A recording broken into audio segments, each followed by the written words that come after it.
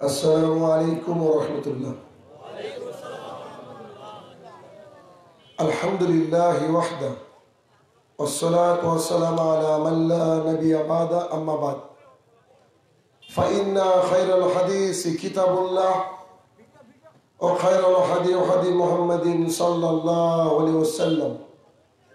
وشر الأمور محدثاتها وكل محدثة بدعة.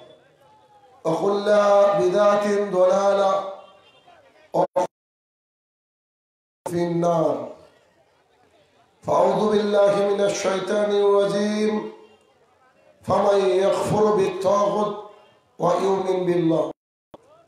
وقال الله سبحانه وتعالى يا أيها الذين آمنوا أطيعوا الله وأطيعوا الرسول ولا تبطلوا أعمالكم. عن أبي هريرة رضي الله عنه قال قال رسول الله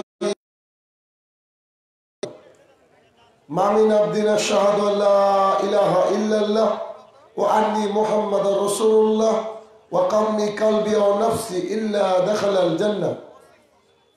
عن أبي هريرة رضي الله عنه قال قال رسول الله صلى الله عليه وسلم كل أمتي يدخلون كلا يا رسول الله من أبى قال من أبى الجنة فقد أبى عن عائشة رضي الله عنها قال قال رسول الله صلى الله عليه وسلم من عمل عملا ليس عليه أمرنا فهو رد সম্মানিত উপস্থিতি সর্বপ্রথম আল্লাহ সুবহানাহু ওয়া তাআলার বারগায় শুকরিয়া জ্ঞাপন করব যে আল্লাহ তাআলা কাছে দূরের সমস্ত মানুষ যারা দিন শিখতে ইচ্ছুক তাদেরকে বসার এবং কিছু শোনার যে তৌফিক আদা করেছেন, যে রব্বুল ইজ্জত দিবসের মালিক, যে আল্লাহ তাআলা মানুষ এবং করার জন্য তারপরে আমরা মানুষ হিসাবে তার প্রতিদিন তারপরে যিনি বাঁচিয়ে রেখেছেন সেই মহান রব্বুল ইজ্জতের বারগায়ে শুক্রিয়া জ্ঞাপনার্থে আমরা বলি, আলহামদুলিল্লাহ। অতপর সমগ্র মানব জাতির শিক্ষক, সমগ্র মানব জাতির পথ প্রদর্শক, সমগ্র মানব জাতিকে যিনি অন্ধকার থেকে আলোর পথের দিশা দিলেন, সেই মরুদুলাল মোহাম্মদুর রসুল্লাহ সাল্লাহ সাল্লামের ওপর লাখো কোটি সলাৎ ও সালাম বর্ষিত। আমরা বলি আল্লাহ আমিন। আজকে আপনাদের এই বাংলাদেশের প্রত্যন্ত এলাকা ঠাকুরগাঁও বক্তৃতার বিষয় ইবাদত কবুলের শর্ত। উক্ত বিষয়ে তথ্য এবং তত্ত্ববহল আলোচনা করার চেষ্টা করব। আজকে ঈশার সলাত আদায় করেছেন, সময় নিশ্চয় তো ইনশাল্লাহ মানে হচ্ছে ইন ফিউচার ভবিষ্যৎ মানে করব, ওই সময় ইনশাল্লাহ বলতে হয়। বাপ শিখাইনি তো আমরা কি করব? তো যাই হোক, ঈশার সালাত আদায় হয়েছে, আলহামদুলিল্লাহ। তো ওই যে ঈশার সালাত আদায় করে আসলেন, আপনার উদ্দেশ্য আল্লাহ সুমানার করা। মুসলমানিত্বকে টিকিয়ে রাখার জন্য আপনি সলাত আদায় করেছেন। জাহান নামের ভয়ে জান্নাত পাবার আশায় আপনি সলাত আদায় করেছেন। এখন যদি আমাদের দেশের নরেন্দ্র মোদীর মতন হঠাৎ করে বলা হয় যে তোমরা এ দেখো তোমাদের দলিল নাই, তাহলে মানুষ কি করবে? প্রস্তুত হবে। তো আজকে যে আমি আলোচনা নিয়ে আসছি আপনাদের সামনে, সেটা ওই যে চার রাখা সালাত আদায় করে আসলেন, এইটা কবুল হতে গেলে যেমন নামাজ পড়তে গেলে তার অজু লাগে, অজু ছড়া যেমন সলাৎ হয় না, ঠিক যা ইবাদত করেন না কেন তার কিছু পূর্ব প্রস্তুতি রয়েছে, পূর্ব শর্ত রয়েছে। ওই শর্তগুলো যদি ফিল না হয়, তাহলে আপনার ইবাদত কবুল হবে না। তো সেই ইবাদত কবুল হওয়ার বেশ কিছু শর্ত রয়েছে। তা নিয়ে আলোচনা করব। তা নিয়ে আলোচনা করব। তার পূর্বে সামনে কিছু ফাঁকা জায়গা আছে, ওগুলো পূরণ করবেন। একটু কাইন্ডলি তাড়াতাড়ি সামনে চলে আসুন। মানে সামনের জায়গাটা আপনাদের, আর ওই পেছনের জায়গাটা যারা দাঁড়িয়ে আছে তাদের।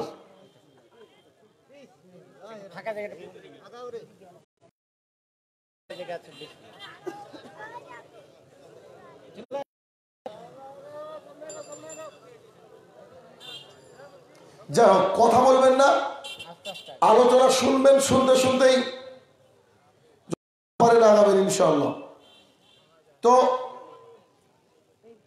তার পূর্বে যে কথাটা সেটা হচ্ছে আমি কিছু কথা বলব। কোরআন এবং হাদিস থেকে যে কথা আপনাদের খারাপ লাগতে পারে, কিন্তু যদি সেটা সত্য হয়, সেগুলোকে মেনে নেওয়ার চেষ্টা করতে হবে। আপনি একটা আপনার রোগ হয়েছে দেখাতে গেলেন, ডাক্তার বলছে অপারেশন করতে হবে। অপারেশন মানে কাটা ছেঁড়া। বলি না যে বাপ দাদা করব। তখন আমরা বলি যে আপনার, আপনি ভালো বুঝেন। তা আপনি অপারেশন করেন না করেন। তো ওই তিক্ত অভিজ্ঞতাটাকেও আপনাকে মেনে নিতে হয়। তো আমি যে কথাগুলো বলব সেগুলো হচ্ছে লবণের মতো। অতিরিক্ত হলে খেতে পারবেন না। মুশকিল। পারফেক্ট হতে হবে। তবে ইতিহাস সাক্ষী আছে, লবণে কখনো কিন্তু পিঁপড়া ধরেনি। তাই না? লবণে কিন্তু পিঁপড়া ধরেনি। পিঁপড়া চিনিতে ধরে, যাদের মুখে মিষ্টি মিষ্টি ভাষা আছে। কথা বলতে পারে সুন্দর করে, কিন্তু ওই কথার মূল্য ওই পিঁপড়ে পর্যন্ত। আর আমার কথা কিয়ামত পর্যন্ত রেখে দিবেন, ওই কথা ওইভাবে থাকবে, কেউ খাবে না। তো এই কথা আমি কিছু বলব, কিন্তু আপনার আপাত মনে হলো, এটা খুব জরুরি। সেটা হচ্ছে মসজিদ কার ঘর? আপনার আপনার যদি চো বাথরুমের মধ্যে শয়তান থাকে, জিন থাকে, দুষ্টু দিন, জিন, তাই না? তার জন্য আপনি বাথরুমে ঢোকার সময় কি বলেন? হ্যাঁ জিন থেকে, দুষ্টু জিন থেকে, শয়তান থেকে কি করেন? পানা চান। পানা চান তো, যে আল্লাহ আমাকে দুষ্টু জিন থেকে, শয়তান থেকে রক্ষা করো তো সেই এত বুদ্ধিমান মানুষ আমরা যার একটু পাকা বাড়ি আছে, তার বাথরুম যদি থাকে, মোজাইক প্লেট বসানো। ঠিক না? মোজাইক প্লেট বসেছে বাথরুমে বাথরুম কার ঘর? শয়তানের ঘর। তো আল্লাহর ঘর তৈরি করার ভালো করে বুঝেন বিষয়টা? দিয়ে মাগ দিয়ে কাজে লাগবেন কথাগুলো আবার। আল্লাহর ঘর তৈরি করার জন্য মানুষ এমনি টাকা দিবে। দিবে কিনা? এই যে এইখানে এটা আমি, যেখানে যেখানে প্রোগ্রাম করছি, একটু পরিবর্তন করার চেষ্টা করছি মানুষকে। এখানে লেখা রয়েছে, খোলরা বালিয়া পুকুর নির্মাণাধীন ওয়াক্তিয়া মসজিদের উন্নয়ন কল্পে, তাই না? এইটাকে যদি আমরা মসজিদের উন্নতি কল্পে না দিয়ে, এটাকে যদি আমরা ইমানের উন্নতি কল্পে দিতাম আমাদের ইমানের উন্নতি কল্পে দিতাম। তাহলে কি টাকা চাওয়া লাগতো নাকি টেবিলে টাকায় ভরে যেত? বুঝছেন আমার কথাটা? বক্তা সাহেব মানুষের গলা টিপে টিপে দান তুলছেন। তো এই দান কিন্তু আল্লাহর কাছে কবুল হবে না। দান করতে হবে তার মতো। রসুলাম বললেন, সাহাবিরা তাবুকের যুদ্ধের প্রস্তুতি চলছে। টাকা লাগবে। একটা হাদিসই যথেষ্ট। আপনার কিছু দিয়ে দাও মসজিদকে। একটা হাদিস। এই হাদিসটা বলছি, তারপরে সামনের দিকে যাচ্ছি তাদের উন্নতি করবে জালসা হয়নি। তাদের ইমানের আমরা কেন এমন? আমাদেরকে তো হতে হবে সাহাবিদের মতো হওয়ার। চেষ্টা করতে হবে, তাই না? সাহাবি আবু বাক্কার সিদ্দিক রাজিল্লাহু উমার রাজিল্লাহু উসমান রাজিল্লাহু দুনিয়াতে থাকতে বহুবার জান্নাতের সার্টিফিকেট পেয়েছেন। তারা জান্নাতে যাবেই যাবে। যে কোনো মূল্যে তারা জান্নাতে যাবে। এবার যখন প্রিয় নবিস রসুলাম বললেন তাবুকের যুদ্ধের প্রস্তুতি চলছে। কে কি দান করবা? টাকা লাগবে। দাঁড়িয়ে দাঁড়িয়ে মিসকি মিসকি হাসছেন আর ভাবছেন, তোমাকে একদিনও পিছনে ফেলতে পারে সব সময় আমার চেয়ে বেশি বেশি ইবাদত করো। উমার রাজিয়াল্লাহু বলছে, এটা ভেবে সে শান্তি পাচ্ছে। যে, আবু তোমার কিন্তু টাকা পয়সা খুব কম এখন। ভিখারি মানুষ তুমি, ইসলামের জন্য দিয়ে দিয়ে সব শেষ। এখন আমার টাকা আছে, তোমার চেয়ে আজকে বেশি দান করে দেখাবো। কম্পিটিশন দেখেছেন? আপনার মেয়ে কম্পিটিশন করে কে কত ছোট পোশাক পরলো, তার চেয়ে বেশি ছোট কার ব্লাউজের পিঠ কত কাটা, আমি রাখবই না। এই এই কম্পিটিশনে ব্যস্ত। আপনার ছেলে দেখে কে কত চুলকে খারাপ করে কাটতে পারে, তার চেয়ে ডবল খারাপ করে কাটবো আমি। এইটাতে ব্যস্ত। কিন্তু তারা ইবাদতের জন্য ব্যস্ত। উমার যদি এক টাকাও না দান করতেন, দাড়ি চেঁচে যদি পায়খানার মধ্যে ঢুকে দিতেন, তারপরেও তিনি জান্নাতে যেতেন। কেন? আগে থেকে সার্টিফিকেট দিয়ে দেওয়া হয়েছে। আপনার আমার সার্টিফিকেট আছে? নাই। তাহলে আমাদেরকে কত বেশি দান করতে হবে? কত বেশি দান করতে হবে উনি দাঁড়িয়ে দাঁড়িয়ে ভাবছেন যে আজকে আমি আবু বাক্কের সিদ্দিক রাজিলতানুর চেয়ে বেশি দান করব। এমত অবস্থায় প্রথমে উমার রাজিলতানু গিয়ে বলছে, আল্লাহ রসুল, আমার যা সম্পদ রয়েছে, তার অর্ধেকটা আমি দিয়ে দিলাম আপনাকে। দান দিবেন না দিবেন সুবহান আল্লাহ তো বলবেন। সুবহান আল্লাহ বললে যত ফাঁকা জায়গা আছে, সব নেকিতে পরিপূর্ণ হয়ে যায়। আল্লাহ সুবহান তারা নিয়ামত আর নিয়ামত আমাদের জন্য। আমরা বুঝতে পারিনি বিষয়টা। আমরা নগদ গুণা মানুষ তো। ভাবি মনে বাকি। মরলে বুঝতে পারবেন এক একটা সুবহান আল্লাহর কত দাম ছিল সেই দিন। তো এইটা দান করেছি। উসমান রাজিল্লাহ এগিয়ে আসলেন। এসে বলছেন আল্লাহ রসুল, আপনার যা সৈনিক রয়েছে, এই সৈনিককে, অর্ধেক সৈনিককে আমি তিন মাসের খাবার দেব, অর্ধেক সৈনিককে একটা করে উট অথবা ঘোড়া দেব। আশ্চর্যের বিষয় হচ্ছে এটা। বিআই সাহেব যদি সপ্তাহে দুবার আসে বাড়িতে, তো ইয়ারকির ছলে তাকে গালি দিয়ে বলা হয়, শালা, তুমি আসার জায়গা পাও না। কেন? আবার মুরগি নিয়ে আসতে হবে। আবার খাসির গোস্ত কিনতে হবে। তাই না? উসমান রাজিয়াল্লাহু বললেন অর্ধেক সৈনিককে তিন মাসের খাবার দিবেন। আর অর্ধেক সৈনিককে একটা করে উট অথবা ঘোড়া দিবেন। সৈনিক সংখ্যা ছিল তিরিশ হাজার। মানে পনেরো হাজার লোককে তিন মাস তিন বেলা খাওয়াবেন, টেনশন নাই। কেন? দুনিয়াকে বিক্রি করে দিতে হবে আল্লাহর জন্য। দুনিয়াকে বিক্রি করে দিতে হবে আখেরাতে একটু জায়গা পাওয়ার জন্য। উলঙ্গ হয়ে এসেছিলেন, কিচ্ছু ছিল না। এই টাকা পয়সার মালিক আল্লাহ পরিশ্রম করে টাকা ইনকাম হয় না। যদি পরিশ্রম করে টাকা ইনকাম হতো, তাহলে ইট ভাটার কর্মচারীরা সবচেয়ে কোটিপতি হতো। তাকদিরের উপরে বিশ্বাস আনতে হবে। আল্লাহ আপনাকে টাকা দিয়েছে। আপনি একটা সিগনেচার করে এক সেকেন্ডের মধ্যে এক কোটি টাকা ইনকাম করছেন। ইনভার্টার লেবার সারা দিন ও মানে ইট টানছে, রিক্সাওয়ালা রিক্সা টানছে, টোটোওয়ালা ইজি ভ্যানওয়ালা ইজি ভ্যান টেনে টেনে কষ্টের পরে সারাদিনে তিনশো টাকা ইনকাম করছে। মেহনত করলেই যে টাকা হবে, কে বলল আপনাকে? টাকা কে দেয়? আল্লাহ সোমানে তালা তবে আপনি যখন মারা যাবেন, অবশ্যই আমার জানা মতে ঠাকুর গায়ে নিশ্চয়ই কারুর কাপনে কাফনের পকেট থাকে না। কাফন যখন দেয়, পকেট রাখা হয় কাফনের? ভেতরে কোনো সিন্দুক রাখা হয় কবরে? তো টাকা কার জন্য? জমি কার জন্য রেখে যাচ্ছেন? টাকা এক সপ্তাহ পর ফোন দিয়ে বলবে শাইনুর ভাই, সাত ভাই, তিন বোন, আঠারো বিঘা জমি কটটুক করে ভাগ পাবো। কবরের মাটি এখনও শোকায়নি। হয় না?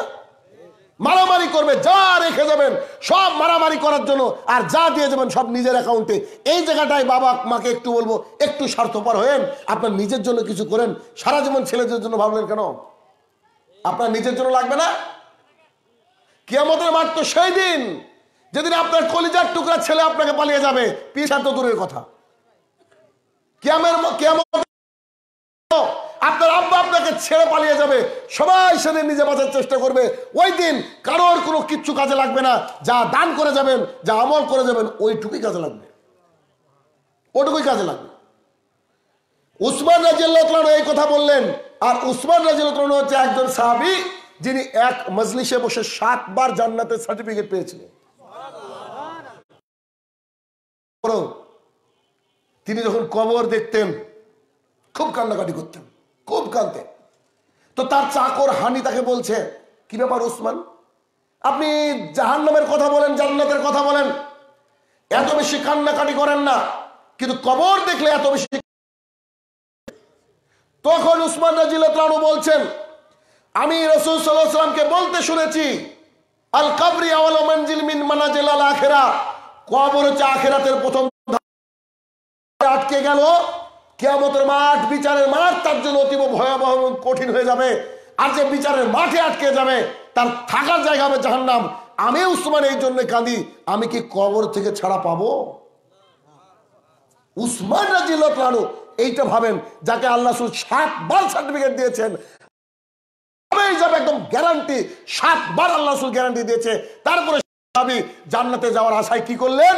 পনেরো হাজার সৈনিককে তিন মাসের খাবার দিলেন আর পনেরো হাজার সৈনিককে একটা করে উটো তোমা ঘোড়া দিলেন। আমাদের তো ঘোড়ার ডিম আছে। আমাদের কি আছে? তার জান্নাতে সার্টিফিকেট রয়েছে। আবু বাক্কার সিদ্দিক রাজিল্লাহু আনহু এতিমের মতো দাঁড়িয়ে আছেন। কিচ্ছু নাই, ভিখারি মানুষ। ভিখারি? করে অনেক কিছু ছিল। সব ইসলাম গ্রহণ করার পর আল্লাহ রসুলকে দিয়ে, ব্যাস আমার আর কিছু দরকার নাই। মাঝে মধ্যে বাগানে চলে যেতেন। দিকে, পাতার দিকে, গাছের গুড়ির দিকে তাকিয়ে বলতেন হাই আল্লাহ, আমাকে কেন মানুষ তৈরি করেছ? আমাকে একটা বৃক্ষ তৈরি করতে, গাছ তৈরি করতে। তার মালিক এসে কেটে ফেলতো, হিসাব ক্লিয়ার আমি কি করে টিকবো? আবু বাক্কার এই কথা বলছে। যেকে আল্লাহ নিজে মোহাম্মদ সাল্লামকে দিয়ে বলেছে, ওকে বলো, ও হচ্ছে সত্যবাদী। পৃথিবীর অন্যতম সিদ্দিক, সত্যবাদী হচ্ছে আবু বাক্কার সিদ্দিক। সেই আবু বাক্কার এতিমের মতো দাঁড়িয়ে আছে। কেন? দিয়ে চেষ্টা করেছে যে ইসলামটা উপরের দিকে উঠুক। নামাজ পড়ার বেলায় আছে আমরা অনেকে। বক্তৃতা দেওয়ার বেলা অনেকে আছে। সিয়াম পালন করার বেলায় অনেকে আছে। দোকানদারি করার সময় অনেকে আছি। যখনই টাকা অর্থের ব্যাপার, আল্লাহর দরবারে খরচ করার ব্যাপার হয়, তখন আমরা কনজুস হয়ে যাই। আপনার মাল দিয়েই তো আল্লাহ আপনাকে পরীক্ষা করছে। আপনার মাল দিয়ে পরীক্ষা করছে। আপনার ভাবার দরকার যে আপনি কত সুখে আছেন। একজন ব্যক্তি নতুন রাস্তার পিচ ঢালাই হচ্ছে। তুমি ভাবছেন এই উত্তপ্ত বালুকময় প্রান্ত উপর দিয়ে জুমার নামাজ পড়তে যাচ্ছি। যাক, সামনে সপ্তাহে একজনের স্যান্ডেল আমি কিনবো। ওখানে গিয়ে দেখছেন, আপনার ওই মসজিদের বাইরে একটা ভিখারি বসে আছে। আল্লাহ সুমাতা তার দুটো পাই দেয়নি। তার দুটো পা নেই। তিনি মসজিদে ঢুকতে গিয়ে বলছে, আল্লাহ গো আলহামদুলিল্লাহ, আমাকে পা দিয়েছ। ওকে তো পাই দেওনি। ওর ইচ্ছা হলো স্যান্ডেল পড়তে পারবে না। আমি জীবনে স্যান্ডেল কিনবো না। সে দুঃখে বলছে এই কথা। আপনার মনটা আপনি মাঝে মধ্যে হসপিটালে যাবেন, দেখবেন এক এক রকমের রুগী কত সুস্থ রেখেছে। এই সুস্থতা লাগে। এই সময় আপনার দানটা বেশি কাজে লাগবে। যখন আপনার গরিব হওয়ার ভয় থাকবে তখন। এই টাকাটা দিয়ে মনে হয় গরিব হয়ে যাব। তখন দান কাজে লাগবে। আরে, এক কোটি টাকা যার আছে, তার এক লাখ টাকা বা কি হলো? আপনার আছে কোটি টাকা, আপনি দিয়ে দিয়েছেন পনেরো টাকা বা দশ টাকা। এই দানটা আল্লাহ একবারে গ্রহণ করবে, কারণ পৃথিবীকে বিক্রি করে দিতে হবে। আল্লাহ জান্নাত পাওয়ার উদ্দেশ্যে, নইলে হবে না। অত সোজা নয় জান্নাত যাওয়া। আল্লাহ বলছেন, জান এবং মাল দিয়ে আমার রাস্তায় বেরিয়ে পড়ো। জান এবং মাল দিতে হবে। কি দিলেন আপনি? খালি ইবাদত দিয়ে অত সোজা না। খালি ইবাদত দিয়ে জান্নাত পাওয়া আপনার অন্তর কানবে, এটা রসুসাল্লাম বললেন, যে ব্যক্তি একটা মসজিদ তৈরি করে দিল, আল্লাহ তার জন্য অনুরূপ একটা ঘর জান্নাতে নির্মাণ করবে। এইটা একাই তৈরি করলেন না। আপনি দশ টাকাও যদি মসজিদে দেন, তাও আপনি মসজিদে তৈরি করলেন। এটা এটা আল্লাহর অফার। শয়তানের ঘরকে বানিয়েছেন মোজাইক প্লেট দিয়ে। আল্লাহর ঘরকে এভাবে রেখে দিয়েছেন। আল্লাহ একদিন জবাব দিবে না? নিবে না জবাব? আল্লাহ সুবাহ কে আমাদের মাঠে বলবে, আমি অসুস্থ ছিলাম, তুমি আমাকে দেখতে গিয়েছো নাকি? তখন বান্দারা বলবে, ইন্নালিল্লাহ, বলেন কি আপনি? আপনি আল্লাহ সুবাহ আপনি কি করে অসুস্থ হন? বুঝে না, ওই যে তোমার পাশের বাড়ির অমুক ভাই অসুস্থ ছিল, তাকে দেখতে গেলেই তুমি আমাকে দেখতে যেতে। সেই তোমার ভাইকে তুমি দেখতে যাওনি। আল্লাহর ঘরকে আমরা বিরাট করে রেখে দিয়েছি। আবু বাক্কা সিদ্দিক রাজিয়াল্লাহু তাআলা দাঁড়িয়ে আছেন। আল্লাহ রসুল বলছেন আমার আবু বাক্কার কি দিবে? এখানে তো বোঝা যাচ্ছে যে কে জান্নাতে দেবে? আমার আবু বাক্কার। শব্দ কত বুঝতে পেরেছেন? আমার আবু বাক্কার। আল্লাহ রসুল যাকে এইভাবে বলতে পারে সাল্লাহ আলী সাল্লাম আবু বাক্কার সিদ্দিক রাজিয়াল্লাহু ওইদিকে উমার রাজিয়াল্লাহু দাঁড়িয়ে আছে, উমার ফার্স্ট ভেবেছে আমি ফার্স্ট অর্ধেক সম্পদ দিয়েছি। কম্পিটিশনটা দেখেন। ভাবছে আবু বক্কর আর কি দিবে? কিছুই তো নাই। আজকে আমি ফার্স্ট তখন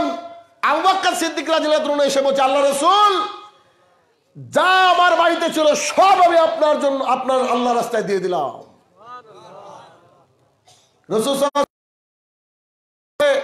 বলছে, আপনি আর আল্লাহ। আপনি আর আল্লাহকে বাড়িতে রেখে যা ছিল সব দিয়ে দিলাম। উমার বলছে যা আজকেও ফেল পারলাম না আজকেও। আল্লাহ যাকে জেতাবে তাকে হারানোর কেউ আছে কি? কেউ নেই। তাহলে সামনের দিন থেকে ইমানের উন্নতি গল্পের প্রোগ্রাম করবেন। তিনটি বক্তা থাকবে, এমন ইমানের উপরে বক্তৃতা দেবে, মানুষ টাকাতে ঢের ফেলে দেবে এখানে। মুসলমান সব পারে পারে না? তাহলে মুসলমান সব পারে, মানুষের ইমানটাকে বাড়াতে হবে। একজন সাহাবি রসুল সাল্লামের পিছনে সলাত আদায় করছেন। সলাৎ শেষ করে আল্লাহ রসুলকে বলছে, ওই জায়গায় কি পড়লেন গো? বাক্যটা বুঝলাম না তো কোনটা? বলছে, এইটা, এটার মানে কি? তো রসুল সাল্লাম বলছে, কেউই জান্নাতে যাবে না যতক্ষণ না তার প্রিয় বস্তু দান করবে। কোরআনের আয় কেউই জান্নাতে যাবে না যতক্ষণ না তার প্রিয় বস্তু দান করবে। তো বলছে আল্লাহ রসুল, মদিনার বুকে একটা গাছ আছে, আমার বাগান আছে। প্রায় ছশো থেকে সাড়ে ছশো খেজুরের গাছ হবে। আমি আল্লাহ রাস্তায় আপনাকে দিয়ে দিলাম। এভাবে দান করেছে সাহাবিরা। এভাবে দান করেছে। স্যাক্রিফাইস ছিল সাহাবিদের। রসুল সাল্লামের বাড়িতে একটা মেহমান এসেছে। এসে বলছে, আল্লাহ রসুল, আমাকে আজকে রাত্রিবেলায় কি থাকতে আর খেতে দেওয়ার ব্যবস্থা হবে? পৃথিবীর শ্রেষ্ঠ ব্যক্তিত্ব।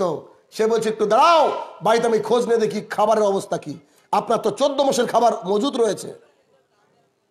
আছে না? বাড়িতে গিয়ে আয়সা রাজিনা তোমাকে বলছে আয়সা খবর কি? বলে, কিছুই নাই, শুধুমাত্র পানি ছেড়া। আমার আরও অন্যান্য স্ত্রীদের কাছে খবর নাম তারা বলছে, আল্লাহ রসুল আজকে রাত্রিবেলায় পানি ছাড়া কিছু নাই। পেতেন না? আল্লাহ রসুলামের মতো অফার আর কেউ পাননি। মারা যাওয়ার আগেও জিব্রাইলকে পাঠানো হয়েছিল যে, তুমি যদি চাও দুনিয়াতে থাকো সমস্যা নেই। আর যদি চাও তো আমার সাথে আমার কাছে আসো। তা আল্লাহ রসুল সেটাকেই গ্রহণ করেছে। তারপরে ঘুরে এসে বলছে সাহাবিরা, আমার মেহমান, আমার বাড়িতে খাবারের ব্যবস্থা নাই। তোমরা যদি আমার মেহমানকে কেউ আপ্যায়ন করতে পারো, তো বাড়িতে নিয়ে যাও। একজন সাহাবি বললেন, আল্লাহ রসুল, আমি নিয়ে যাব কম্পিটিশন নিয়ে গিয়ে বাড়িতে গিয়ে তার স্ত্রীকে বলছে, বলো খাবারের কন্ডিশন কি? বলছে, যা খাবার আছে, বাচ্চারই হবে না। তারা তো খাটতো। ইনকাম ছিল কি? সব আল্লাহ রাস্তায় বেশি বেশি দিয়ে দিত। জান্নার দরকার তাদের। আর আমাদের বিল্ডিং দরকার। আমাদের ব্যাংক ব্যালেন্স দরকার। আমাদের জমি জায়গার দরকার। আমাদের তাদের জান্নার দরকার। তাদের সাথে এটাই আমাদের পার্থক্য। এটাই পার্থক্য।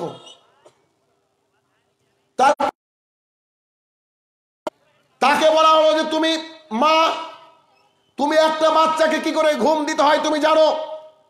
তুমি ঘুমে দাও। আল্লাহ সুসালামের মেহমান খবরদার যেন বেইজ্জতি না হয়। তিনি বাচ্চাকে ঘুমিয়ে দিলেন কলিজার টুকরা। মেহমানকে খাবার দিলেন কিছু কাঁচা পাকা খেজুর সামথিং কিছু খাবার। খাবার তিনি দিয়ে দিলেন। ওই খাবার দেওয়ার সময় যিনি মেহমান, তিনি বলছেন, মেজবানকে ছাড়া খাব না। বাড়ির লোককে ছাড়া খাব না। বাড়ির লোক বসেন। বাড়ির লোক ভাবছে, আমি যদি বসি, তো ওই খাবারটুকুর মধ্যে একজনেরই তো হবে না। তো দুজনে খেলে তো আরও কম পড়ে যাবে। মেহমান আমার কষ্ট পেয়ে যাবে। তারপরে তিনি বসলেন, মেহমান জিদ করে বসলেন। তার স্ত্রী পাশে বসলেন। একটা বাতি জ্বলছিল। বাতি বুঝেন তো? কি বলেন আপনারা? লম্প চেরাক বাতি। তো এই বাতি জ্বলছিল। তার স্ত্রী টুক করে কায়দা করে বাতিটাকে নিভিয়ে দিল। ওই যে মেজবান আল্লাহ রসুলের সাহাবি, সে থালে হাত ঠেকায় এভাবে আর তুলে আর মুখে একটা চপ চপ করে আওয়াজ করে মানে সে খাচ্ছে। কিন্তু সে মুখে দিচ্ছে না। সেই ব্যক্তি পেট পুরে খেয়ে নিয়ে রাত্রিবেলায় ঘুমিয়ে গেলেন, ফজরের সালাত আদায় করতে যাচ্ছেন। রসুলাম বললে, তোমাদের দুজনের কীর্তি আসমানে বসে বসে হাসছিলেন।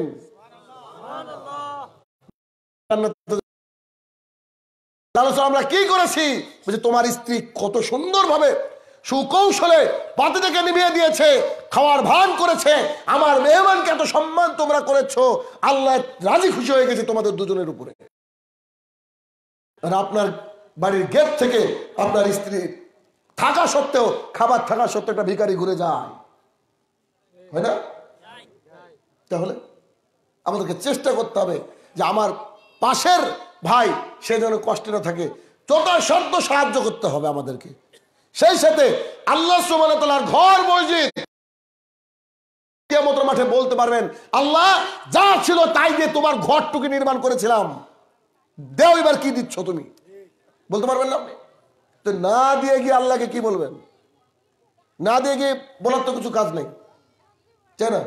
যাই হোক, ওই মসজিদে গিয়ে যে ইবাদত করবেন সলাৎ আদায় সেই সলাৎ আদায়ের জন্য বেশ কিছু ক্রাইটেরিয়া রয়েছে, বেশ কিছু শর্ত শর্ত রয়েছে। তার প্রথম শর্ত হচ্ছে নির্ভেজাল ইমান।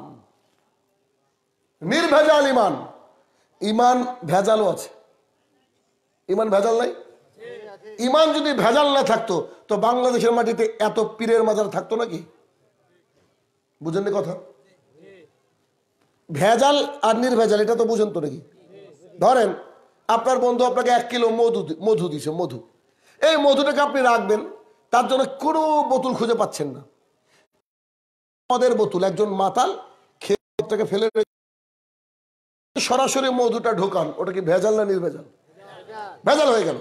আপনি যদি মনে করেন যে না, ওখানেই মধু রাখব, তাহলে কি করতে হবে? ছয় সাতবার ভালো করে ধুলেন, সুন্দর করে ধোয়ার পরে এখন রাখলেন, এখন ভেজাল না নির্ভেজাল? এখন নির্ভেজাল, তাই না? তো আমাদের অন্তর যেটা এই অন্তরটাকে আল্লাহ সুবাহ জন্য ক্লিয়ার করতে হবে। আল্লাহ সুবাহ জন্য ক্লিয়ার করতে হবে।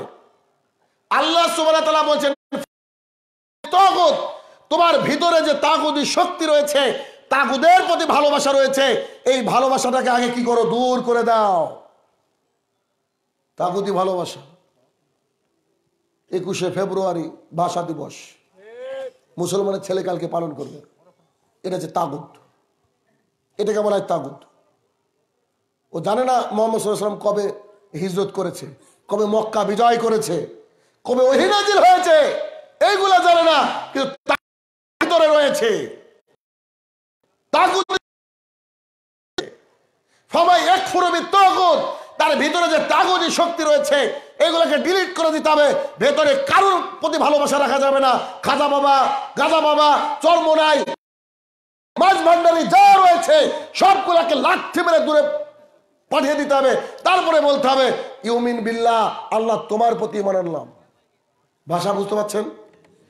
এইখানে যদি মনে করেন যে আর একটা চেয়ার দিবেন, তো চেয়ারটাকে সরাতে হবে নাকি এই চেয়ারের উপরে দিবেন? সরাতে হবে। কোন বাবার ভালোবাসা যদি অন্তরে থাকে, ওই ভালোবাসাটাকে শেষ করে দিয়ে তবে আল্লাহকে স্থান দিতে হবে, নইলে আল্লাহ ওই জায়গায় থাকবে না। বুঝছেন এবার? এই জন্য বলে তোমার ভিতরে যদি সেই শক্তিকে কি করতে হবে? দূরে সরিয়ে দিয়ে এক আল্লাহর প্রতি বলতে হবে, ইউমিন বিল্লাহ, হে আমার প্রতিপালক, তোমার প্রতি ইমান আনলাম। ইমান খুব কঠিন জিনিস। খুব কঠিন জিনিস। রসুল সাল্লাম মক্কার বুকে শ্রেষ্ঠ ব্যক্তিত্ব নবুয়াত প্রাপ্তির আগেও তাকে আলামিন বলা হতো, সত্যবাদী বলা হতো। এলাকার সবচেয়ে ভালো ছেলে মোহাম্মদ সাল্লাহ সাল্লাম তখনও ছিলেন আর চিরকাল থাকবেন। সাফা পাহাড়ের উপরে উঠে মক্কাবাসীকে বললেন, আমি তোমাদেরকে সংবাদ দিতে চাই, একটা কথা বলতে চাই। সমস্ত নিচের যা কুফাররা ছিল কাফেরা ছিল, তারা সবাই বলল, জি, তোমার কথা তো মানবই, তুমি আবদুল্লার বেটা, তুমি আমাদের এলাকার সবচেয়ে ভালো মানুষ আজ পর্যন্ত একটা মিথ্যা কথা তোমার মুখ দিয়ে পাইনি। এত ভালো ব্যবহার তোমার। তুমি তো আলামিন, তুমি সত্যবাদী। সো তুমি যা বলব আমরা তাই মেনে নেব। সবাই মানার জন্য প্রস্তুত। তখন রসুলাম বললেন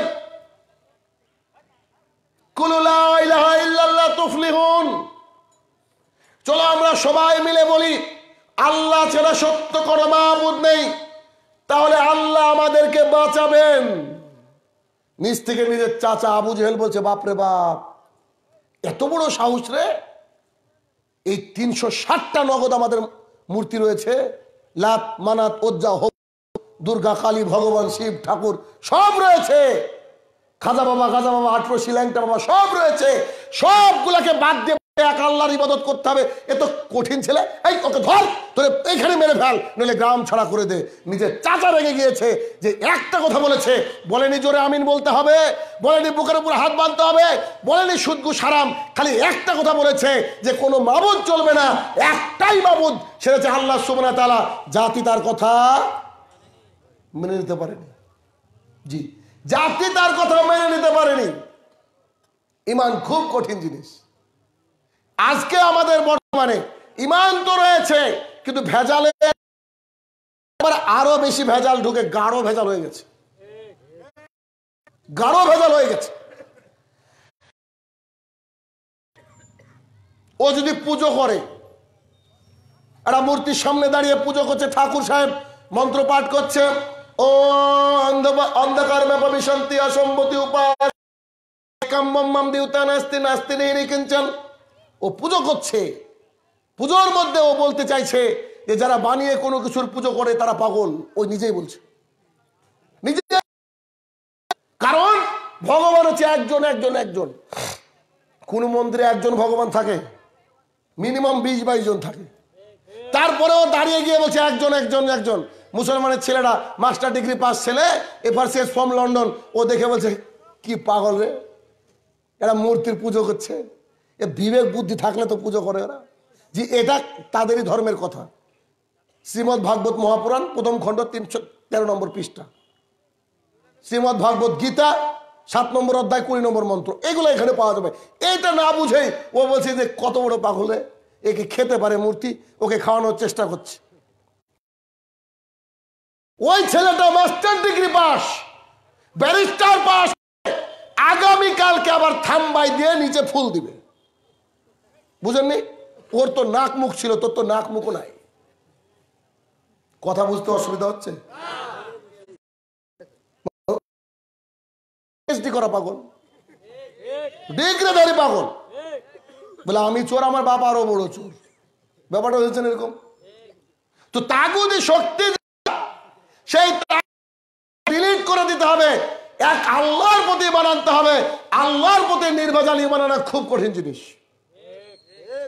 বিলাল তাআলা শুনলেন যে মোহাম্মদ আলাইহি নবুয়াতের দাবি করে আল্লাহর তরফ থেকে তিনি নবী, তিনি এক বাড়িতে চাকর খাটেন, কামলা খাটেন এক বাড়িতে। কামলা বলেন তো আপনারা? কামলা খাটেন, গরিব মানুষ বেচারা।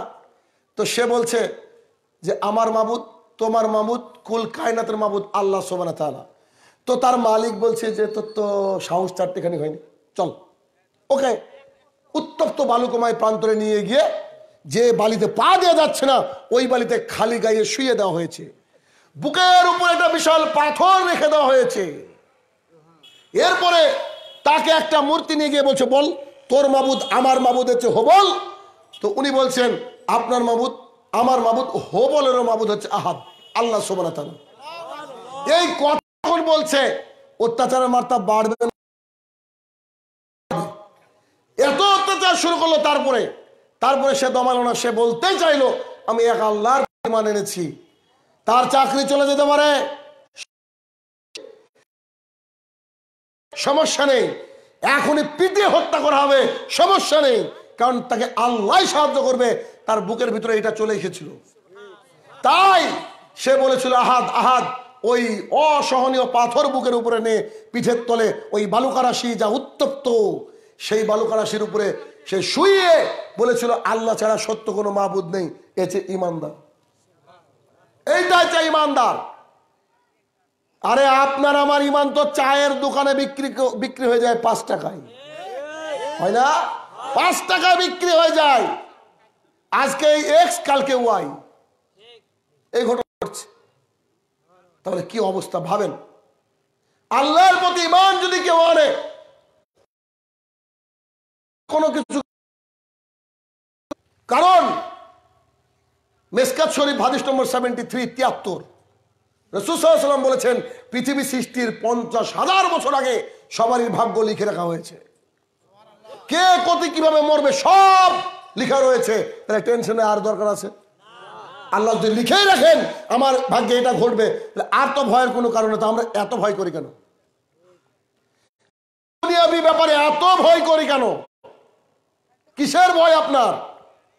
আপনাকে হক কথা যাদের সামনে বলতে হবে, মানুষকে বলতে হবে যে পালন করা ইসলামে নাই, এটা না যায় কারও স্বামী মারা গেল, সে শোক পালন করবে চার মাস, দশ দিন।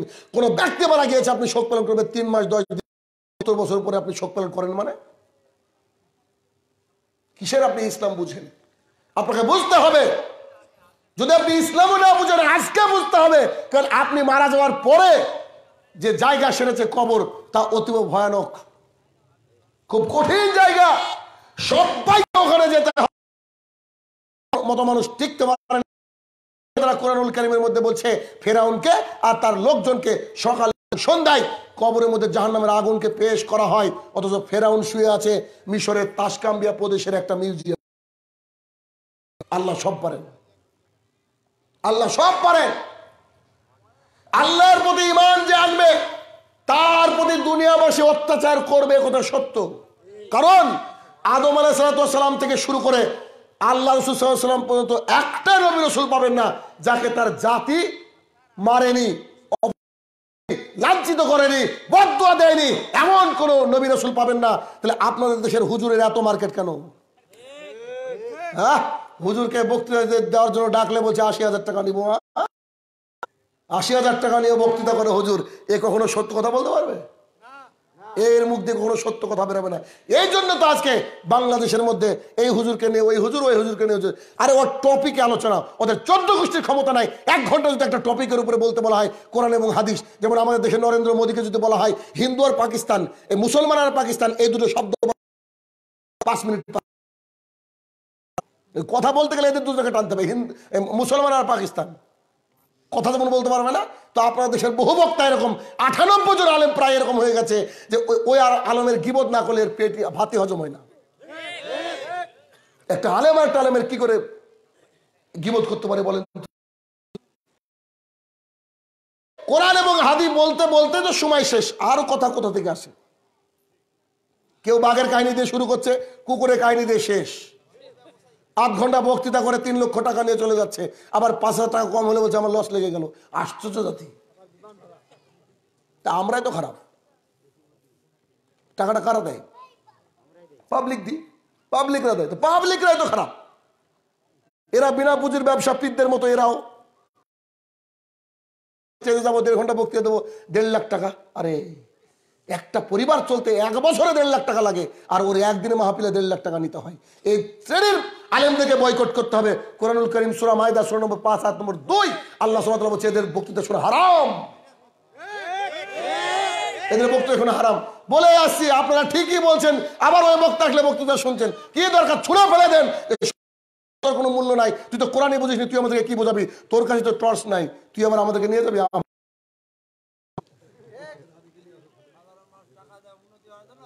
জি। এটা হচ্ছে ব্যাপার। এইটা হচ্ছে ব্যাপার। হ্যাঁ উনি আসলেন ওনার গাড়ি ভাড়া আছে। ওনাকে খুশি হয়ে আপনি এক কোটি টাকা দেন, আমার আপত্তি নেই। ও চাই চাই তাহলে ওকে জুমার দিনে শুক্রবার বাপ, আমার কিছু নাই। এর চেয়ে ভিক্ষা করে খাওয়া। ওদের জন্য, ওই শ্রেণি আলেমের জন্য মানুষ আজকে হক দিন থেকে দূরে করে যাচ্ছে। হক দিন থেকে তারা দূরে করে যাচ্ছে। এদের আল্লাহর প্রতি ইমানই নাই। যদি আল্লাহর প্রতি ইমান থাকতো, আল্লাহ সুবাদ একটা নাম আছে রাজ্জাক, যিনি রুজিদাতা, আল্লাহর প্রতি ভরসা নাই, মাহফিল কমিটি খেতে ঝামেলা করে। আমি আপনাকে দেখাতে পারি যে বাংলাদেশ হাজার টাকা দেওয়ার পরেও এক ঘণ্টা ওয়াজ করে বলছে যে আমি এত টাকা, ক টাকা দিয়েছেন যে আপনি এক ঘণ্টার ভাবেন তাহলে। তাহলে এদের কাছ থেকে তো দিন পাবেন না আপনি। একটা কর্মচারী রাস্তায় ভ্যান বহা লোক বইছে যে লোকটা, সে বলছে, শালা মৌল চোর? বলছো কথা বলতে, বলছে কেন বলেন তো? কারণ অ্যাকচুয়ালি এমনি তো বলে নেও, ও তো দুঃখে বলেছে যে যারা আমাদেরকে সাজিখান দেবে, তারাই যদি খারাপ হয়, তাহলে আবার আমাদের আরও কি হলো দিবে, যারা বলছে তোমরা গিবোধ করো না, তারা আবার গিবোধ দিয়ে ব্যস্ত। তাহলে কি করে চলবে? বিলাল রাজিয়াল্লাহু তাআলা বলেছে না এ আহাদ, আল্লাহ একজন। এক আল্লাহ। যদি জান চলে যায়, তবে তাই হবে। আসিয়া ফেরাউনের স্ত্রী তাকে এইভাবে শুইয়ে দিয়ে দুই হাতে দুই পায়ে কাঠের উপরে ব্রেক মেরে বলা হতো, বল, তোর রব, আমার রব, তোর রব, কুল কায়নাতের রব হচ্ছে আমি ফেরাউন। তখন আসিয়া বলতো যে, তোর রব, আমার রব, গোটা কুল কায়নাতের রব হচ্ছে আল্লাহ সুমনতলা অত্যাচারের মাত্রা যখন দ্বিগুণ বেড়ে যেত, তখন চোখ দিয়ে পানি ঝরতো আর আল্লাহকে বলতো, আল্লাহ, ফেরাউন যা করছে করুক, তবে তুমি আমার জন্য জান্নাত একটা ঘর নির্মাণ করো। আজকে এইভাবে যদি আমরা আল্লাহর প্রতি ইমান নিয়ে চলতে পারতাম, তাহলে আল্লাহ আমাদের জন্য যথেষ্ট ছিল। কিন্তু কিছু পীরও পারে তাই তো? নাহলে পীরের মাজার কেন তো মানুষ পীরের দরবারে যেতে পারে? বলেন, পারে। কি করে আমি তাজ্জব হয়ে যাই? তাজ্জব হওয়ার বিষয় এটা কেউ কি বলতে পারে যে এবার দুর্গা দেবী আসলো, তাই ফসল ভালো হয়েছে? কে দুর্গা? তার কোনো অস্তিত্ব নাই। আজকে অবস্থাটা এরকম আমাদের দেশের। এক আল্লাহকে মেনে নিতে হবে।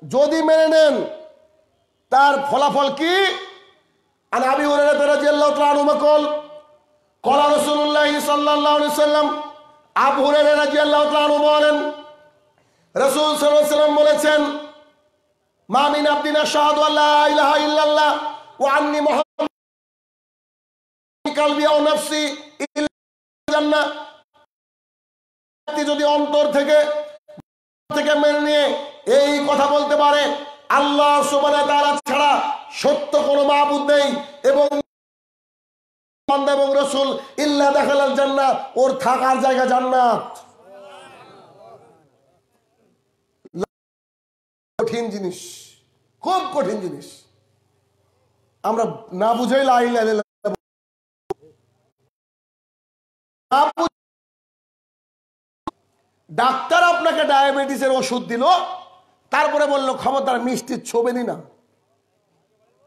তো মিষ্টি ছোন না, কাটা চামচ দিয়ে খান, হবে? হবে কি? কাজ হবে? ওষুধ? ওষুধে কাজ মানুষ বসে আছি।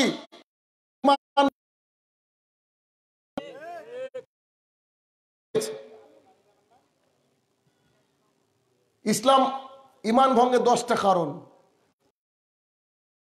কটুক্তি করা। এদেশে যখন ইসলামের নামে কটুক্তি হয়, যারা থাকে তারা ওর সাথে যোগ দিল। যে করে কিনা তারে তৃণ সমুদয়ে লেখক তো ভুল বলেননি।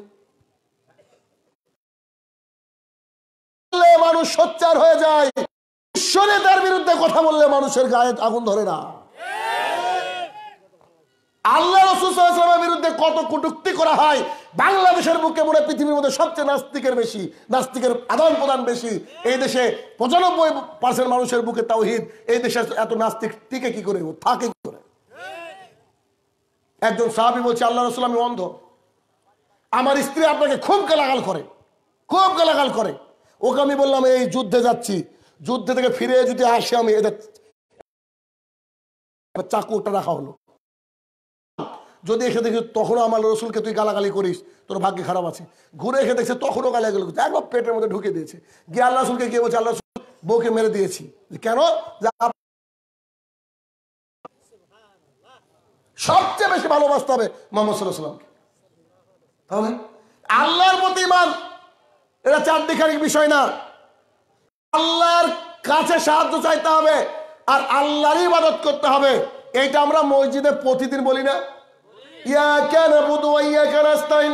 আমার প্রতিপালক, তোমার ইবাদত করি, তোমার কাছে সাহায্য চাই। এই কথা আমরা বলি।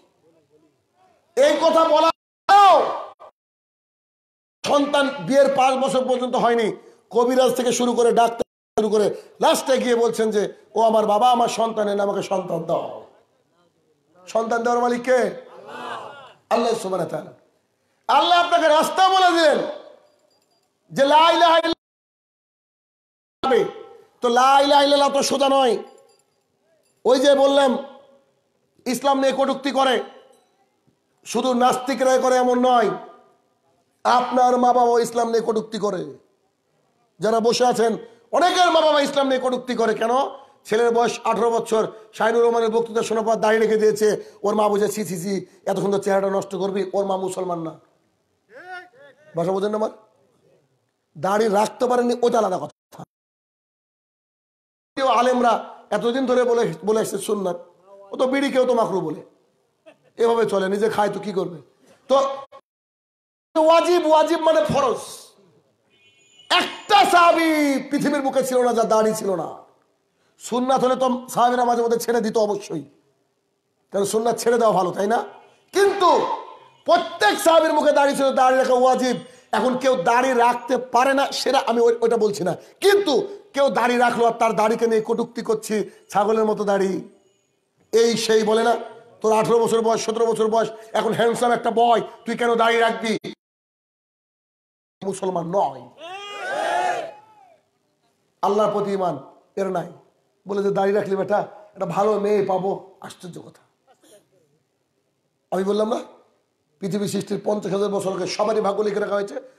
পৃথিবী সৃষ্টির পঞ্চাশ হাজার বছর আগে লেখা রয়েছে যে শাহিনুর রহমান ঠাকুর তা আসবে এই কুড়ি ফেব্রুয়ারিতে। অত সোজা নয় তাহলে আল্লাহর প্রতি ইমান আনতে হবে। আল্লাহর প্রতি ইমান মানে আল্লাহ আপনার ভরসা স্থল। আল্লাহ যদি আপনার সাথে থাকে, ব্যাস, আর কিছু দরকার? ছোট্ট তিনটি আমলের কথা বলছি। আবু হুরান বলেন, রসুল বলেছেন, তিন শ্রেণির ব্যক্তির জিম্মেদারি আল্লাহ নিয়ে নেন। মানে থাকেন, হেফাজত করেন আল্লাহকে। তিন শ্রেণির ব্যক্তি। এক, যে আল্লাহর জন্য বেরিয়ে পড়ে জিহাদে। হয় সে যুদ্ধ করতে গিয়ে মারা যায়, অথবা গণিমতের মাল কাঁধে নিয়ে ফিরে আসে। এই ব্যক্তি আল্লাহর জিম্মেদারিতে থাকে। দুই কোন ব্যক্তি সলাত আদায় করতে যাচ্ছে মসজিদে যেতে গিয়ে হয় মারা যায়, অথবা মসজিদ থেকে নেকি কাঁধে করে বাড়ি ফিরতে আসে, সেই ব্যক্তির সাথে আল্লাহ সুমাত্রা থাকেন। তিন, কোন ব্যক্তি যদি নিজের বাড়িতে ঢোকার সময়, বেরোনোর সময় সালাম দিয়ে ঢুকে, সালাম দিয়ে বেরোয়, এই ব্যক্তিকে আল্লাহ সুমাত্রা নিজের জিহাদের সমতুল্য সালাম। সব আমরা সালাম দিই, নিজের বাড়িতে সালাম দিই না। ঠিক না? লজ্জা লাগে, এই সেই।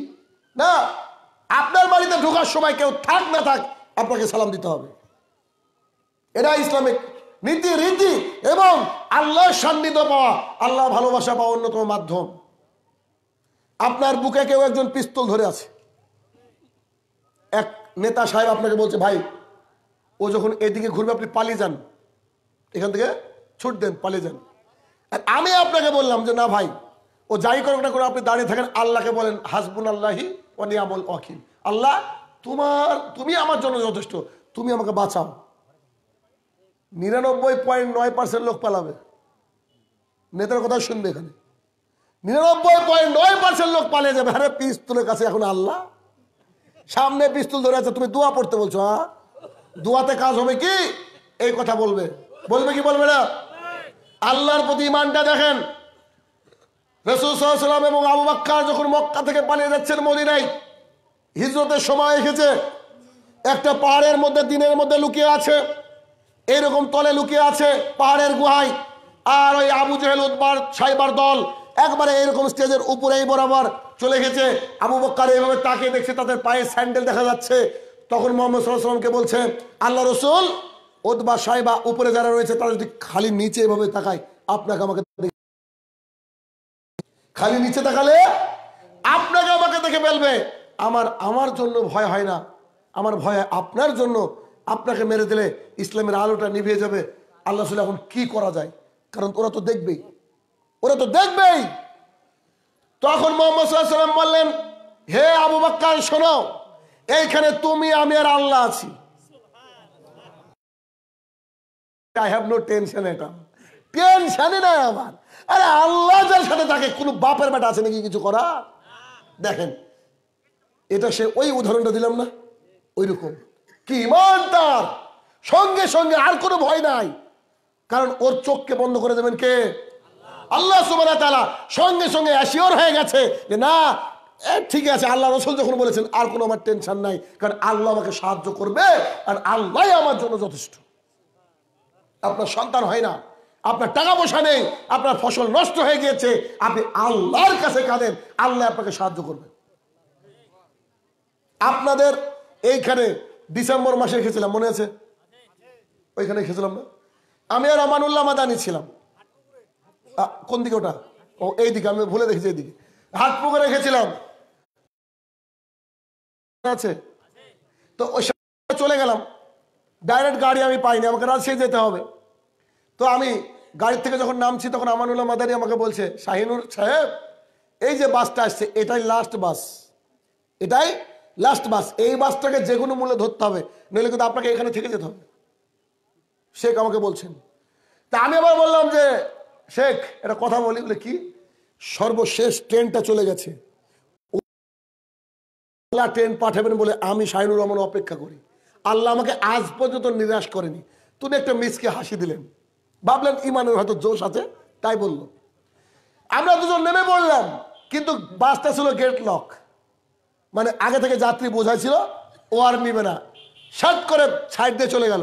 ওনার মুখটা কালো হয়ে গেল এখন বিদেশি মেহমান, এভাবে এসেছে, কি করে পাঠাই? উনি তখন জালসা কমিটির কথাও তুলতে লাগলেন, যে ওদের বিবেক কেমন বলল, তাই বললাম যে, শেখ আল্লাহ আমার জন্য বাস পাঠাবে টেনশন কেন করেন আপনি? আল্লাহ আমাকে নিরাশ করেননি তো, আর আজকেও করবেন না। তো আমাকে বলছে, আপনি বুঝতে পারছেন না, আমরা বাংলাদেশের মানুষ, আমি আমি বুঝি। তাহলে সব ঠিক আছে, কিছু না কিছু ব্যবস্থা হবে টেনশন করে তো লাভ নাই আপনার। আপনি স্থির দাঁড়ান, ইনশাল্লাহ ব্যবস্থা করে দেবে। আল্লাহর কসম করে বুঝে তিন মিনিটের মাথায় বাস।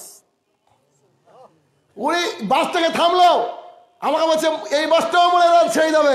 আমরা বললাম, না তো বলছে টিকিট কত নেবে বলছে রাখেন দাম। দাম দর রাখেন। ও যা নেবেন, আমাকে যেতে দেন। গিয়ে দেখছি একটা ভিড়। বাসে কন্ট্রাক্টর মাসাল্লাহ আজকেও আসলাম। গোটা বাসে সিটে তো লোক আসে আছে পুরো বাস একদম দাঁড়িয়ে লোক। তারপরে কন্ট্রাক্টর তুলছে, এভাবে চলেন সিট দিব। তো ভাবলাম এইটুকুর জন্য ইনকামটা হারাম। ও যে মিথ্যা কথা বলে ই- করছে তো। পাবেন না যে মিথ্যা কথা বলে মাল বিক্রি করে। যে টাকুন নিচে প্যান্ট পরে আর যে দান করে খোটা দেয়, এই তিনজন ব্যক্তির দিকে আল্লাহ তাকাবেন না, তাকে জাহান্নামে যেতে হবে। ওই কন্ট্রাক্টর ওই কাজটা করছে। একদম কি করব? উঠে দাঁড়িয়ে পড়লাম। দাঁড়িয়ে পড়লাম। তাই বললাম যে, আল্লাহ বাস্তব মিলিয়ে দিলা সিট মনে মনে ভাবছি হয়? ইম্পসিবল ব্যাপার। মানে ব্যাগটা রাখব না, দাঁড়াবো, এটা বুঝতে পারছি নি। তবে আল্লাহর কসম করে বলছে, আল্লাহর প্রতি আমার ফুল তাওয়াক্কুল আছে। আমার পাশে একটা লোক চট করতে একটা ফোন আসলো। কি জানি কি বলল ফোনে জানে আমি তো মিস্টেক করেছি। ঠিক আছে, আমি এখানে নেমে যাচ্ছি। উনি নেমে গেল, আমি বসে বললাম বাদ বাকি যারা দাঁড়িয়ে থাকলেন, সবাই দাঁড়িয়ে থাকলেন। আমি মধ্যে থেকে জায়গা পেয়ে আরামসে চলে গেলাম রাজশাহী আল্লাহ আমার নিয়াতের মধ্যে খোট ছিল না। আমি জানি আল্লাহ আমাকে নিরাশ করবেন না। ওখানে আমি বসে গেলাম, দাঁড়িয়ে পড়লাম। আল্লাহ আমাকে ব্যবস্থা করে দিল। আমার মতন পাপি বান্দাকে যদি করে, তো আপনাদের মধ্যে ফেরেস থেকে করবে না? সাহায্য করবে না? করবে। তবে আল্লাহর প্রতি একবারে কংক্রিট যে তাওয়াক্কুল, ওই তাওয়াক্কুলটা আনতে হবে। একদম কংক্রিট তাওয়াক্কুল আনতে হবে। যদি আনতে পারেন, আর যদি মনে করেন যে যে ইয়াকা নাবুদু ওয়া ইয়াকা নাস্তাইন আল্লাহ তোমার ইবাদত করি, তোমার কাছে সাহায্য চাই, এইটাকে যদি আনতে পারেন ইনশাল্লাহ ইনশাল্লাহ আল্লাহ আপনাকে এই পৃথিবীর বুকে নিরাশ করবেন না। তবে ইমানটাকে একবারে নির্ভেজাল রাখুন। কংক্রিট রাখুন। কষ্ট পেয়েছেন, আলহামদুলিল্লাহ বলুন। কষ্ট পাওয়ার পরে আলহামদুলিল্লাহ বলুন। কেন? আপনি তো মারা যাননি। ঠিক না? মারা যাননি। আল্লাহ, সৌদি আরবের একটা ঘটনা বলি। একজন ব্যক্তি দুজন বাচ্চা নিয়ে হেঁটে যাচ্ছে। তো বাচ্চারা দুষ্টই হয়। তো একটা বাচ্চা করেছে ওর বাবার কাছে হাত থেকে ছেড়ে একদম মিডিল অফ দ্য রোড রোডের মিডিলে চলে গেছে। আর সৌদি আরবের গাড়ি যারা থেকেছেন বা কেউ থাকে জিজ্ঞাসা করবেন, সবচেয়ে পৃথিবীর মধ্যে দ্রুত গাড়ি চলে সৌদি আরবে। আমি তিন বছর ছিলাম, আমি জানি। খুব স্পিডে সবাই গাড়ি চালাতে বাধ্য মানে সবাই চালাচ্ছে তো। আর রোডও মাসাল্লাহ কারণ আমাদের দেশের মতো তো চোর নাই, যে অর্ধেক টাকা খেয়ে ফেলবে। অর্ধেক দিয়েও করে না। চার ভাগের এক ভাগ দিয়ে করে, বাদ বাকি সব খাই। কে খাই সেটা জানেন আপনারা। সবাই আমরা জানি কে চোর, কিন্তু কাউকে কেউ বলতে পারি না। এটাই সমস্যা। তো ওখানে সৌদি আরবের রাস্তায় ভাত ঢেলে খাওয়া যাবে, এত ক্লিন এক বাঙালি গাড়ি চালিয়ে আসলেন, তার চাকার তলে পড়ে গেছে একটা ওই ছোট্ট সন্তান। একদম স্পট ডেথ সঙ্গে সঙ্গে মারা গিয়েছে। গাড়ি থামিয়ে দিয়েছেন। এই ব্যক্তি হা করে দাঁড়িয়েছেন, আরেকটা বাচ্চা নিয়ে। এক্ষুনি একটা সদ্য যত, সদ্য একটা বাচ্চা আমার মারা গেল। গাড়িটাকে থামিয়ে দিয়ে গাড়িটার গেটটা খুলছেন, বাইরে থরথর থরথর করে কাঁপছেন। সৌদি ব্যক্তি ওখানে গিয়ে বলছে, আসসালামু আলাইকুম কে ফালিক আসাদ সাদিক। আমরা হলে মিনিমাম আদমারা করে তারপরে কথা বলতাম। হসপিটালে গিয়ে দরকার কথা হবে। ঠিক না? আমার ছেলেকে তুই মেরে দিলি। উনি আবার গিয়ে বলছে কেমন আছেন ভাই? বন্ধু কেমন আছেন?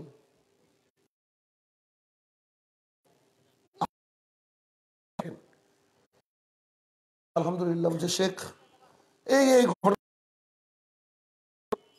ভয় পাচ্ছেন কেন? লেশান্তা খাউফ আপনি ভয়টা কেন পাচ্ছেন?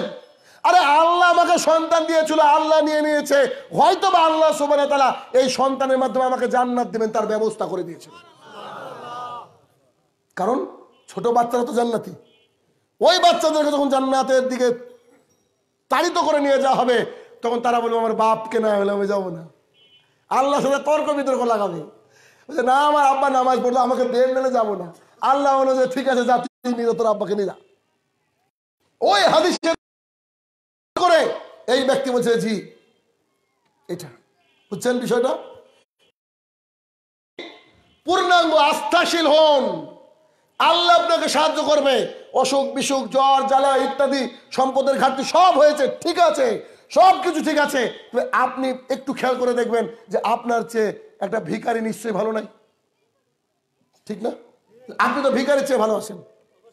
তাহলে আল্লাহর প্রতি পূর্ণাঙ্গ ইমান আনতে হবে। এক, নির্ভেজাল ইমান।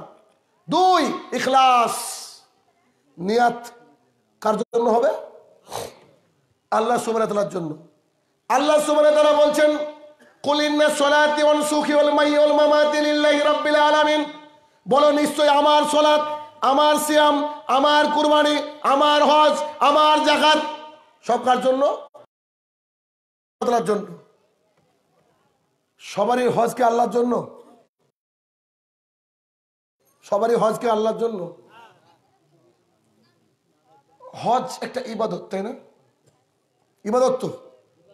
আচ্ছা এখন হজ করতে গেলে দেখবেন মানুষ নিজের অর্থকে ব্যয় করে না, ওর বাবার জমি বিক্রি করে বেশিরভাগ মানুষ। কেন বলেন তো? ও নিজেও জানে ইনকাম হারাম আছে। ওর নিজের ইনকাম হারাম আছে ও বুঝে। ওর বাপের প্রতি ওর কনফিডেন্ট আছে। এবার আমার প্রশ্ন মাইন্ড করিয়েন না, রাগ করিয়েন না, কথা বাস্তব তাই বলছি। আপনি মাগরিবের সলাত করে মসজিদ থেকে বেরালেন, আপনি আমার চাচা বয়স্ক মানুষ। আপনাকে যদি বলি, ওই নামাজি ওই নামাজি, এদিকে এসো। রাগ করবেন না আমার প্রশংসা করবেন। কেন? নামাজি বলে ডাকলি কেন? তুই নাম এ তো হবে নাকি? তো হজ করে সে হাজি না বললে কেন অসন্তুষ্ট হন?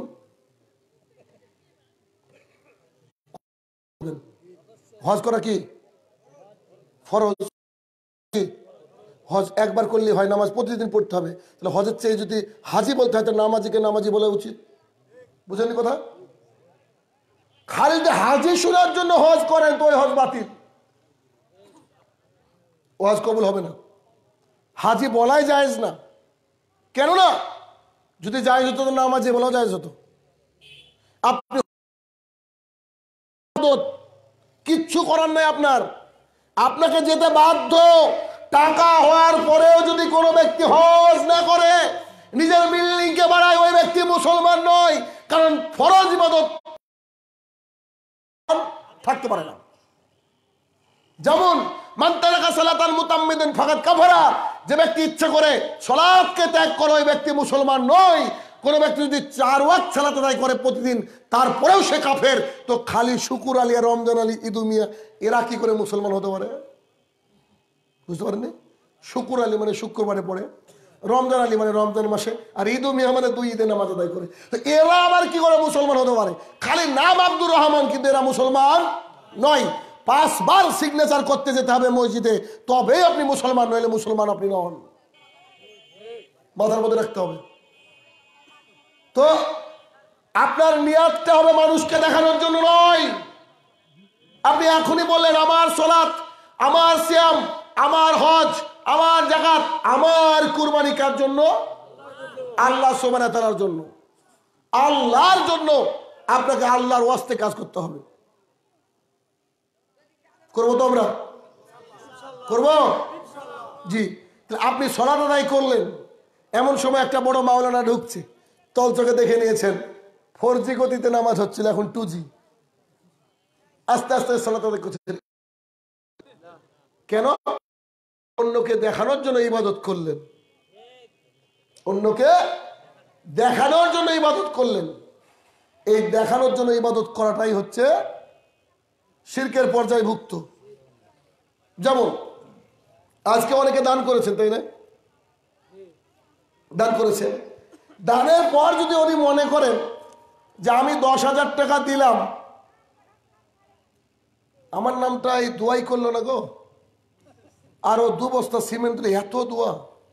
এই দান দিয়ে আপনি জাহান নামে ইনশাল্লাহ যাবেন। বুঝতে পারছেন? হাদিস শোনায় আপনাকে মুসনাদে আমাদের হাদিস। কোন ব্যক্তি যদি কাউকে দেখানোর জন্য সলাত আদায় করে, ওই ব্যক্তি শির করল, আর সেই ব্যক্তি যদি খাস তওবা ছাড়া এই দুনিয়ার মায়া ত্যাগ করে, তাকে জাহান নামে যেতে হবে। সুরা মাইদা সুর- নিসা সুরা নম্বর চার আর তোমার আটচল্লিশ এবং একশো ষোলো। কি দিয়ে জাহান নাম সলাৎ, নামাজ দি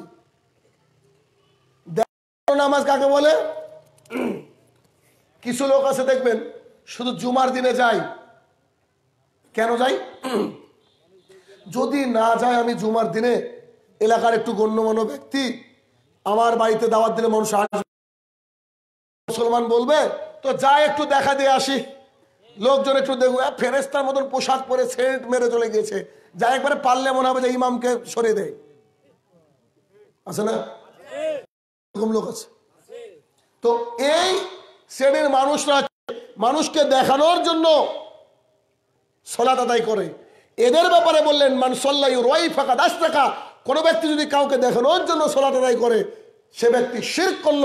আর শিরকারী খাস তো বছরা মারা গেলে তার থাকার জায়গা জাহান্নাম। অমান সোমা ইউরাই ফাঁকা দাস টাকা কোনো ব্যক্তি সিয়াম পালন করল, রোজা থাকল, কিন্তু কাউকে দেখানোর জন্য আজকে আমার বাড়িতে ইফতার পার্টি দেব, আমার বাড়িতে ইফতার পার্টি দেব, আমি যদি রোজা না থাকি, কেমন দেখাবে? অতএব আজকে আমাকে রোজা থাকতে হবে, যতই কষ্ট হোক, কাউকে দেখানোর জন্য সিয়াম পালন করলে সে ব্যক্তি শির করল, থাকার জায়গা জাহান্নাম। অত সোজা না, জান্নাত খুব কঠিন জায়গা। হাজারে নশো নিরানব্বই জন জাহান্নামী। কত ভালো হতে হবে ভাবেন? তিন নম্বরে রসুলাম বললেন, ওমান তাসাদ দেখাই রয় ফাঁকা দাস টাকা কোনো ব্যক্তি দান করল কোনো কিছু, দান করার পরে সে ওটাকে দেখানোর জন্য দান করল। ও বিশ হাজার টাকা দিয়েছে, আমি তিরিশ হাজার টাকা দিয়েছি। এই যে বুকের সিনাটাকে টান করে ফেলল, এই ব্যক্তি ওই ইট দিক আর সিমেন্ট দিক, ওটা দিয়ে জাহান নামে ঘর হবে ওর জন্য। বুঝছেন না? এই জন্য গোপনে গোপনে সব কাজ করার চেষ্টা করেন। আল্লাহ রসুল বলছে, আমার ভয়ে যেই চোখ গোপনে কান্নাকাটি করে, সেই চোখ কখনো জাহান্নামের আগুন দেখবে না। তাহলে ইবাদত একমাত্র ইবাদত হবে কার জন্য? আল্লাহর জন্য। তবে কিছু কিছু পীরের মাজারে বলা হয় যে আমাদের এখানে ছাগল জবাই করা হয়, ঠিক জবাই করা হয়। যদি এইটা বিসমিল্লা বলে শরবত খাচ্ছি যদি নিয়াত। আমি বিষ হাতে নিয়ে বলছি, আল্লাহ শরবত খাচ্ছি বিসমিল্লা মরবো না। তো ওই বিষ যেমন শরবতের নিয়াতে খেলেও মারা যেতে হবে, তেমন মাজারে গিয়ে যদি কোনো ছাগল জবাই, এটা জায়েজ নয়। কারণ আপনার শুধুমাত্র, একমাত্র ইবাদত করতে হবে, আল্লাহকে রাজি খুশি করার জন্য। তাহলে আর কেউ দেখল না, দেখল, দেখার যুক্তি আছে? তাহলে সলাদ কাউকে দেখে বাড়ানো, কমানো যাবে না। সলাদ নিজের মতো করে আদায় করতে হবে রসুলাম যেমন করে বলেছে। আপনার কুরবানি হবে আল্লাহর হস্তে, যদি চু আমি খুব বাস্তব কথা বলা বলি, অনেকের কষ্ট হয়। কিন্তু কিছু করার নাই ভাই, আপনাকে বাঁচাতে হবে। আমি ওই সুদূর ইন্ডিয়া থেকে গেছি কেন? সবাই জানে যে কনটাকে বক্তা আমি না ওদেরকে আমি ছাপ, সোডা, যা সে অদি ধুই। আমার উদ্দেশ্য কি? যে না করে। দেখেন, আমি যা বলব আপনার এলাকায় আছে, ইনশাল্লাহ। আপনি দেখেন নেন, বলছি। কুরবানি, কুরবানির সিজন এসেছে। বাদ দিয়ে যে অন্য জনের এই ইবাদত করায় প্রমাণ দিচ্ছেন। কুরবানির সিজন রেখেছে চায়ের দোকানে চায়ের কাপে চুমুক দিচ্ছি আর বলছে "এই, দেখেছ আমার গরুটা? গোটা পাড়ার মধ্যে ফার্স্ট বলে কি বলে না? সবচেয়ে বড় ছাগলটা এবার আমি কিনেছি। আল্লাহর কসম করে বলছি তার ইবাদত কবুল হবে না। এই কোরবানি কবুল হবে না খালি গোস্ত খাওয়াই হবে। এক দুই নম্বর। কোরবানি দেওয়া কারুর ক্ষেত্রে ওয়াজিব কারোর ক্ষেত্রে সুন্না তাই তো? ছাগলও দেয়, আবার গরু ভাগ নেয়। আছে না? বড় ছেলেটা গরুর গোস্ত খেতে ভালোবাসে ও ছাগল, তাই দুটোই আসুক বাড়িতে, আবার ঈদের দিন গোস্ত কিনবো। হয় কি হয় না? হয় এটা। কুরবানি যখন দিবেন, খবরদার ওখানে দাড়ি পাল্লা নিয়ে যাবেন না, যা এলাকায়। দাড়ি পাল্লা নিয়ে ওজন করবেন না, খবরদার। কি হয়? আমি কুরবানি জবাই করেছি আব্বা একটা জবাই করেছি। তা আমার আব্বা আগকার মানুষ, বুঝতে পারছেন? দাড়ি পাল্লা নিয়ে চলে এসেছে আমি ফেলে দিছি আর দাড়ি পাল্লা এটা কি হবে? আমি বললাম, না, আপনাকে এইসব আনতে হবে না। বলে নাম আপলে তুমি আইডিয়া করবা কি করে? দাড়ি পাল্লা নিয়ে আসলে আপনার কুরবানি হবে না। কারণ আমরা মানুষ ফেরেস্তা না। দলিল, চল্লিশ হাজার টাকা দিয়ে একটা ছাগল কিনলাম, গোস্ত হবে তিরিশ কেজি। ক কেজি হবে? এবার জবাই করার পরে, কুরবানি করার পরে মেপে দেখছি পঁচিশ কেজি গোস্ত। অমনি মনে মনে বলব, শালা, ঠকে গেছি গো। লস লেগে গেল। বললেন, না। লস লেগে গেল। এই কুরবানি কার উদ্দেশ্য দিতে হবে? আল্লাহর জন্য তো আল্লাহ মাংস খায় না আল্লাহ কাছে হাড় হাড্ডিও পৌঁছায় না। পৌঁছায় কি? তাকোয়া অন্তরের ভীতি। যেদিন কোরবানি কিনেছেন, ওই দিনে আপনার কোরবানি হয় কবুল হয়েছে নাহলে কবুল হয়নি। কুরবানি করতে হবে এইভাবে। ছাগল বা গরু কিনেছেন, জবাই করে দেন। তিন ভাগ আইডেতে করে নেন। এক ভাগ আপনি রাখেন এখন। ভিকারি মিসকিনকে দিয়ে দেন, আত্মীয় স্বজনকে দিয়ে দেন। আমি যেভাবে কুরবানি করে, ওইভাবে করার চেষ্টা করেন। নিজের বাড়ির জন্য যতগুলো সদস্য, সেই অনুযায়ী এক থেকে দেড় কিলো গোস্ত রাখেন। এক থেকে দেড় কিলো গোস্ত রাখেন। বাদ বাকি গোস্তটা বিলিয়ে দেন। কুরবানিরও নেকি হবে, দান সাদেরও নেকি হবে, ডবল নেকি।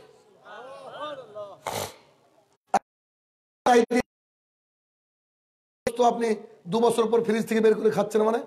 যে দেশের অধিকাংশ মানুষ না খেয়ে সয়। রাখা যায়। আরেক কোরবানি পর্যন্ত।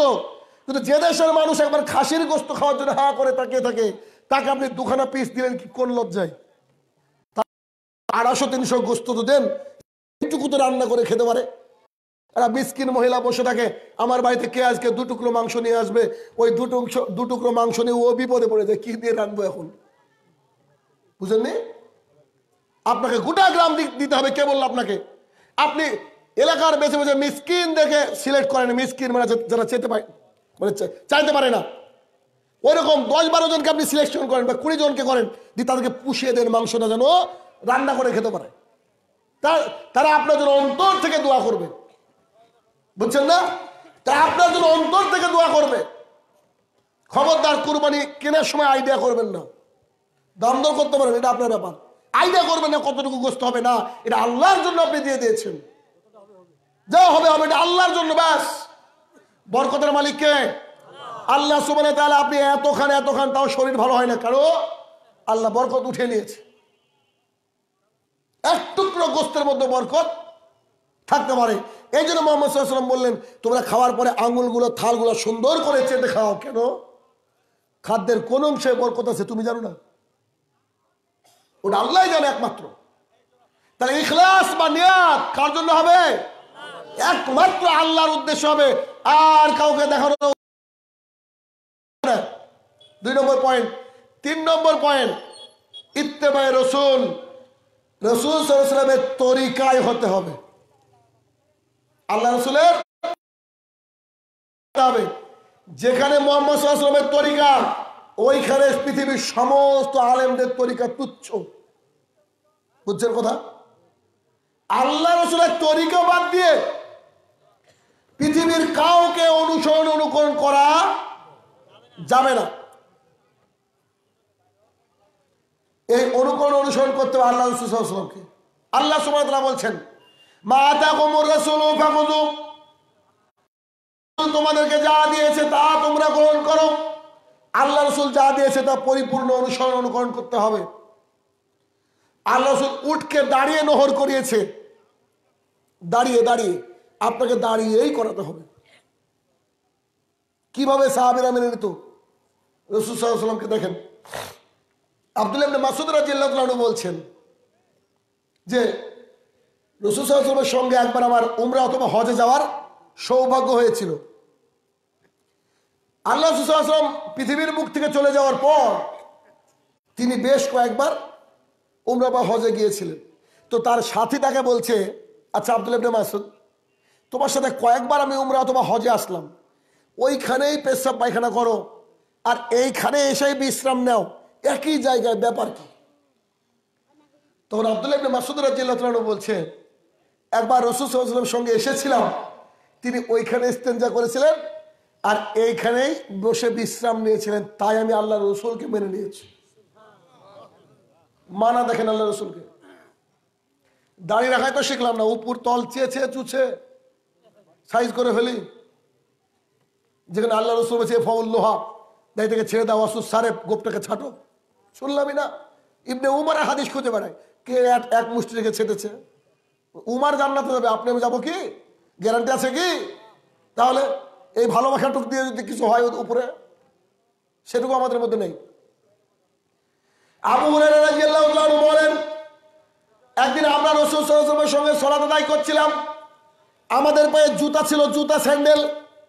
আল্লাহ রসুল সাল্লাল্লাহু পায়ে জুতো স্যান্ডেল ছিল। এক পর্যায়ে মোহাম্মদ সাল্লাম তার জুতাকে খুলে ফেললেন। আমরাও খুলে ফেললাম। সালাম ফেরানোর পরে আল্লাহ তোমাদের জুতাগুলো খোলা কেন?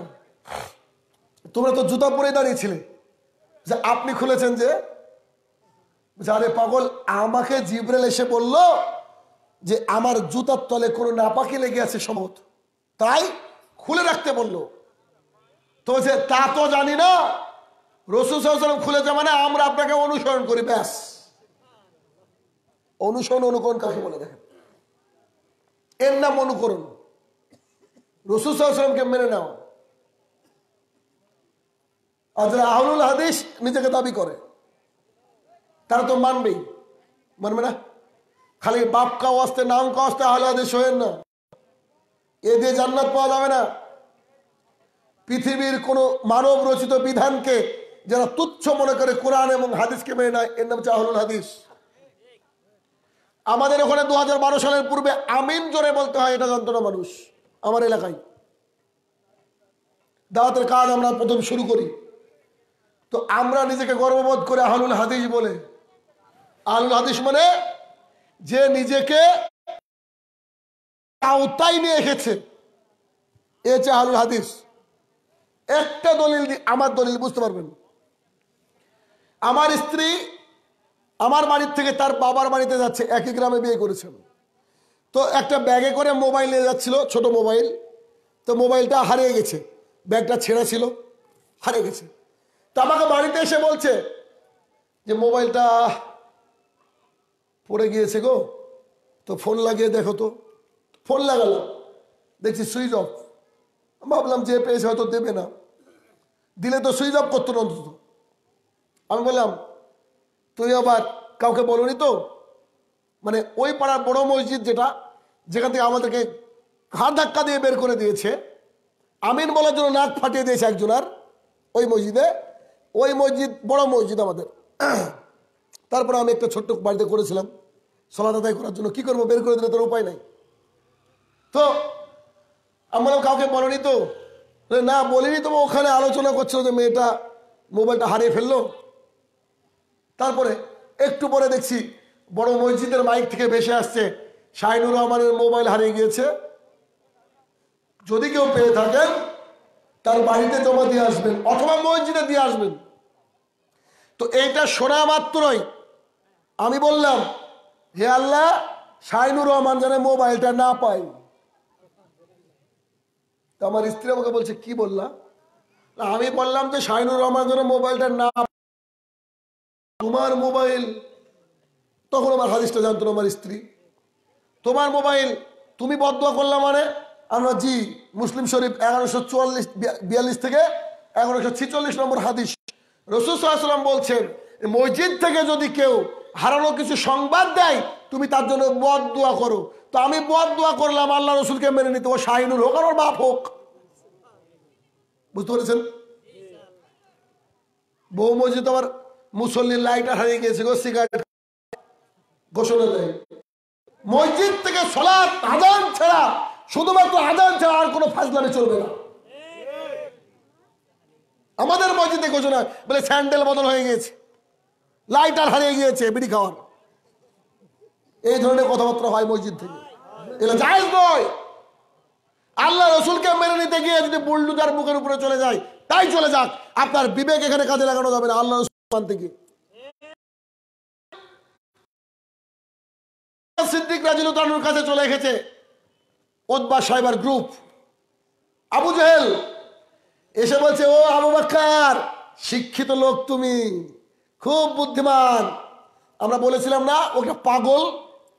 না উজুবিল্লা রসুলামকে বলছে যে, কেন, কি হয়েছে? বুঝে সে নাকি এখান থেকে বাইতুল মুকাদ্দাস গিয়েছে। সব নবীদেরকে নিয়ে নামাজ পড়েছে। তারপরে সাত আসমান উপরে গিয়ে আল্লাহর কাছ থেকে কি সব উপহার নিয়ে? বিশ্বাস করো, এখান থেকে বাইতুল মুকাদ্দাসে যেতে সময় লাগে ছ মাস।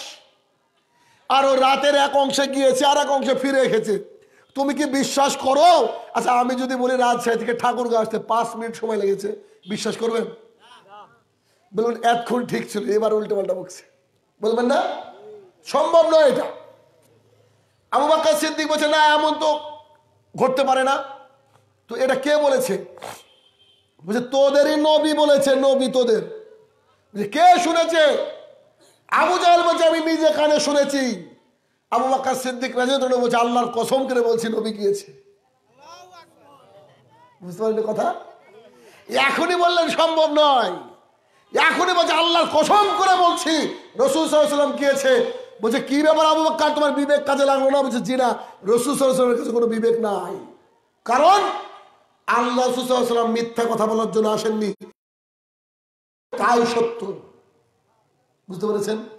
তা আল্লাহ রসুলকে মেনে নিতে হবে এইভাবে আল্লাহ সুমাত্রা যখন নৌকা তৈরি করো, না বন্যা না নদী। হয়তো দুশো, পাঁচশো বছর কোনো বন্যা নাই। ধুধু, মরুভূমি, এর মধ্যে বলছে নৌকা বানাবো একবারও আল্লাহকে বলেনি যে, আল্লাহ পানি কোথা থেকে দেবো? নদী কই? বলেছে কিচ্ছু বলেনি। শুরু হয়ে গেছে কেন? আল্লাহ সমুদ্রের কথা কোনো মিথ্যা? হতে পারে না। যদি আল্লাহর কথা মিথ্যা না হয় তো নবীর কথা মিথ্যা হবে? কারণ নবী তো নিজের মুখে কোনো কথা বলেন না। যা শুনেন, তাই বলেন। তাহলে আল্লাহ রসুলকে মেনে নিতে হবে। মেনে নেওয়ার গতিটা একবার দেখেন। যুদ্ধের ময়দানে চলে গেলেন। গিয়ে প্রথম লটেই শহীদ হয়ে গিয়েছেন। তার স্ত্রী বাড়ির থেকে দৌড়ে বেড়ে এসে বলছে, আমার হানজালা কোথায়? রসুসাল্লাম বলছে, চলো যাই দেখি। যুদ্ধের ময়দানে হয়তো পড়ে আছে। গিয়ে দেখছে হানজালার দেহ পড়ে আছে। তার স্ত্রী বলছে, আল্লাহ রসুল, আমার হানজালা আমার সাথে সহবাসে লিপ্ত ছিল। আপনার ফরমান যখন জারি হয়েছে, আপনার ডাক যখন তার কানে গিয়েছে সে ফরজ গোসল করবে এই সময়টুকু ব্যয় করেনি। পাঁচ থেকে দশ মিনিট সময় লাগতো। সে ফরজ গোসল করবে, এইটুক সময় সে ব্যয় করেনি। সে বলছে, তুমি থাকো, আমি নতুন একটা বউ। সে বলছে, থাকো, আল্লাহ রসুল আমাকে ডেকেছে যুদ্ধের ময়দানে।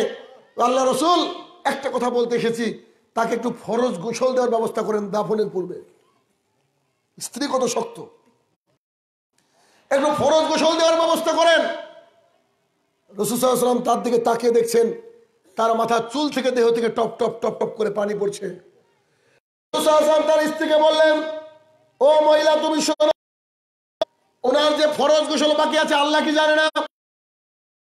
তারা জানে, আল্লাহ সুবহানাহু তারা তোমার স্বামীর জন্য আসমান থেকে ফেরেস্তা নিযুক্ত করে দিয়ে অলরেডি ফরজ গোসল করিয়ে দিয়েছে। এইভাবে আল্লাহ রসুলকে মেনে নিতে হবে। এক যুদ্ধে গিয়েছে মোহাম্মদ সাল্লাম যুদ্ধে সাহাবিরা অনেক বড় বড় গাধা গাধা, গাধার গোস্ত রান্না করেছেন। গোস্তের সেন্ট চলে আসছে, এখনই গোস্ত মনে হয় হয়ে আসবে, খাবে, নামাবে এমত অবস্থায়। একজন ব্যক্তি মোহাম্মদ সাল্লামের সাথে দেখা করতে আসলো আল্লাহ রসুল বলছে, আল্লাহ সুমানাতলা গৃহপালিত গাধার গোস্তকে হারাম করেছে। রান্না হয়ে গেছে। আমি আপনি হলে মিনিমাম বলতাম যে চলো যাই আবু বাকারের উমরের কাছে। একটু পরামর্শ নিয়ে যদি আজকের মতন অন্ত খাওয়া যায়। হয়ে তো গেছে। পারতেন তো আল্লাহ অনুমতি দিতে? পারতেন না? তো এই শোনা মাত্রই সব বাতিল সহ ফেলে দিলেন। মেনে নেওয়ার কথা বলছি। আল্লাহ রসুলকে ফেলে দিলেন আপনারা বলেন আমি মদ ঢেলে ঢেলে সাহাবিদেরকে দিচ্ছিলাম, মদ হারাম হয়নি।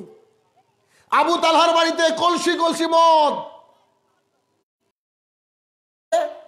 কেউ গ্লাস হাতে, কেউ ঢালছে। এই অবস্থায় বাইরে থেকে একজন ঘোষণা করে এসে বলছে, রসুল সাল্লাম বলল, আল্লাহ সাল্লাম মদকে হারাম করেছে। আনাস রাজির বলছে যে, তালহা আমাকে বলল যে, ভাঙ, ভাঙতে শুরু করো। সাহাবিরা মুখ থেকে মদ ফেলে দিয়েছে। যে গিলে নিয়েছিল সে বমি করে ফেলে দিয়েছে। আল ওই আনাস রাজিত বলছে যে, মদ এত ভাঙতে শুরু করলাম, মক্কার গলি দিয়ে স্রোত স্রোত বইতে লাগল। এত মদ ছিল। একটা মিনিট অপেক্ষা করেননি। আল্লাহ রসুল বলেছেন, শেষ। একজন সাহাবি রসুল সামনে আসলেন। এসে আল্লাহ রসুল তার দিকে তাকালেন না। চোখ লাল করে মুখ থেকে ফিরে নিলেন। সাহাবি বলছে, কি ব্যাপার? রসুল আমার দিকে তাকানো না কেন? আল্লাহ সাল্লাম বলছে, তোমার হাতে যে আংটি রয়েছে, ওইটা সোনা। ছেলেদের জন্য রেশমের পোশাক এবং সোনার আংটি পরা হারাম না জায়েজ ছেলেদের জন্য রেশমের পোশাক আর সোনার আংটি পরা কি? হারাম। সাহাবিটা আঙুল থেকে খুলে ফেলে দিয়েছেন। ফেলে দিলেন। আল্লাহ সাল্লাম চলে গেলেন। আরেকজন ব্যক্তি এসে বলছে এই সোনাটা তোমার জন্য হারাম। তোমার স্ত্রীর জন্য, মেয়ের জন্য, মায়ের জন্য জায়েজ। তুমি তুলে নিয়ে গিয়ে তুমি তোমার বউ বিটিকে দিয়ে দিতে পারো। কত তো সুন্দর। ওই সাহাবি বলছে, জিনা, যার জন্য রসুল সাল্লাম চোখ গরম করেছে, আমার দিকে তাকায়নি, তার পবিত্র চোখ- চোখ আমার থেকে ফিরিয়ে নিয়েছেন। আমি অত বড় কুলাঙ্গান না যে ওটাকে তুলে নেব। এক কোটি টাকা মূল্য হলো আমার কাছে ওটা পাঁচ পয়সা মূল্য নেই। দেখেন, মানার গতিটা দেখেন। আল্লাহ রসুলকে মানতে হলে এভাবে মেনে নিতে হবে। অথচ আমাদের অবস্থা কি? আমাদের অবস্থা কোথায়? আমরা আল্লাহ রসুলকে মানা না। কি করে আল্লাহ রসুলকে মেনে নিতে হয়? আল্লাহ রসুল যে কত ভালো মানুষ, কত উন্নত চরিত্র, তা বিভিন্ন হাদিস এবং কোরআনের বিভিন্ন আয়াত থেকে পাওয়া যায়। যে আল্লাহ রসুলকে কি করে মেনে নিতে হবে? কাফের, বেদিন, বেঈমানরা আল্লাহ রসুলের সান্নিধ্য লাভ করলে তারা ইসলামের ছায়া তলে আসতো। ইসলামের ছায়া তলে আসতো। আল্লাহ রসুল বলছে, যুদ্ধের ময়দানটা হচ্ছে এমন, শহীদ হয়ে গেলে এপারে মরলে ওপারে জান্নাত। এই কথা বলেছে একটা ইয়াং সাহাবি, ইয়াং ছেলে, কোরমা খাচ্ছিল খেজুর। ফেলে দিয়ে বলছে আমি রেডি গো দেয়ার আমি প্রস্তুত ওখানে যাওয়ার জন্য, চলেন। ওখানে গেলেন, উনি মারা গেলেন যুদ্ধে। কয়েকটা কাফেরকে শেষ করে দিয়ে নিজে শহীদ হয়ে গেলেন। রসুল সাল্লামকে সে বলাল রসুল, ওই যে ছেলেটা, যুবক ছেলেটা, যে খেজুর খাওয়ার তর সহিত সইতে পারল না, তাকে আমি দেখলাম যুদ্ধের ময়দানে পড়ে আছে। রসুল সাল্লাম বলছে, আমি দেখতে পাচ্ছি, তার কলিজা পাখি হয়ে জান্নাতে ঘুরে বেড়াচ্ছে। আজকে যুবকরা পাবজি নিয়ে ব্যস্ত। খেলেন আপনাদের দেখে PUBG free fire PUBG TikTok, musically, Bigo video, এসব নিয়ে ব্যস্ত যুবকরা। অথচ যুবকদেরকে ইসলামের ছায়াতলে আসার কে কোন নেতা, কে কোন ক্যারিয়ার তৈরি করার জন্য ব্যতীত ব্যস্ত কবরে কিচ্ছু চলবে না এগুলো। কবরে জিজ্ঞাসা করবে নাকি কোন পার্টি লিডার ছিল কতটা মানুষ খুন করেছ? কত কোটি টাকা তোমার ব্যাংক ব্যালেন্স জিজ্ঞাসা করবে? কবরে তিনখানা কমন কোশ্চিন হবে, যা ইন্টারনেট আবিষ্কার হওয়ার আগেও ভাইরাল তাহলে আল্লাহ রসুলকে মেনে নেন। উমার রাজিয়াল্লাহ আল্লাহ রসুলকে বলছে, গোটা পৃথিবীতে যা আছে সবারই চেয়ে আমি আপনাকে বেশি ভালোবাসি। শুধু আমার জানকে আগে ভালোবাসি, আমার নিজেকে ভালোবাসি, তারপর আপনি। তো রসুল বলছে, উমার ইমানদার হতে পারেনি উমার বলছে, আশ্চর্য কথা। আমি ইমানদার হতে পারিনি? বলে, জি হ্যাঁ। আমাকে ভালোবাসতে হবে সবচেয়ে বেশি। এমনকি নিজের জানের চেয়েও বেশি। তাহলে আল্লাহ রসুলকে যদি জানের চেয়ে বেশি ভালোবাসেন, দাড়ি না রেখে থাকতে পারেন, ফজরে না উঠে থাকতে পারেন রামনবমীকে সিয়াম না পালন করে থাকতে পারেন পারেন? আপনারা যে মসজিদ এর উন্নতি গল্পে জালসা করছেন, ওখানে নামাজ হয় এখন? হয় নামাজ না হবে? নামাজ হয়। এই মসজিদের আন্ডারে কত ঘর লোক রয়েছে মোটামুটি? মানে যেটা করছেন ওয়াক্তে মসজিদ। কত ঘর লোক হবে? একশো চল্লিশ কত? অনলি চল্লিশ। চল্লিশ ঘর। চল্লিশ ঘর। তো ফজরে কজন লোক হয়?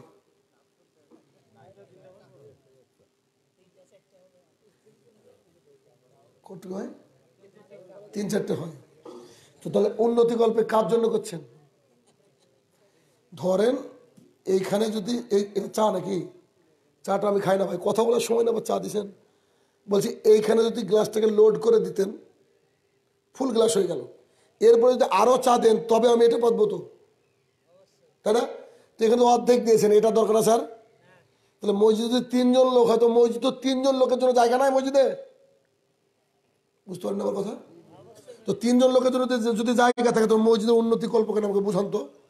শুক্রবারে যারা আছে তারা মুসলমান না, আমি বারবার বলছি। ফালতু আপনি কার জন্য কি করছেন?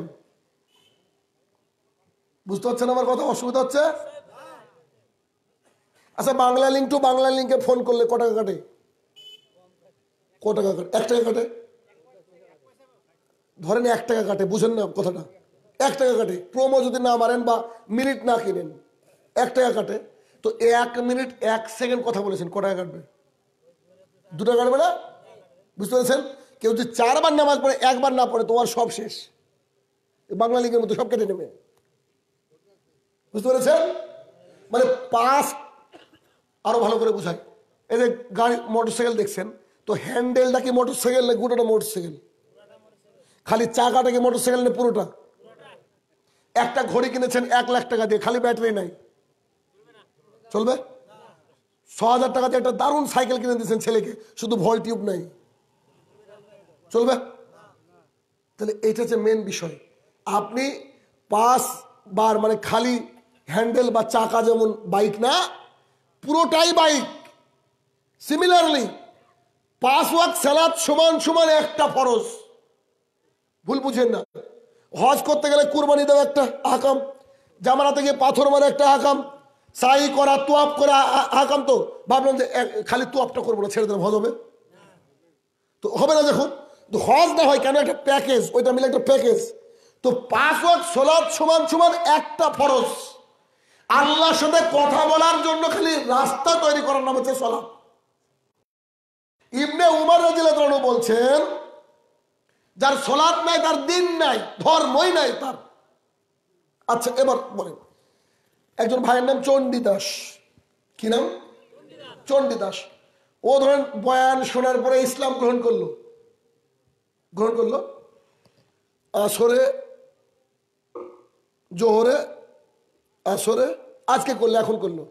জোহরে, আসরে, মাগরিবে। তিন ওয়াক দেখছে যে চায়ের দোকানে বসে আড্ডা মারছে। আর আপনি ওই রাস্তা দিয়ে মসজিদে যাচ্ছেন।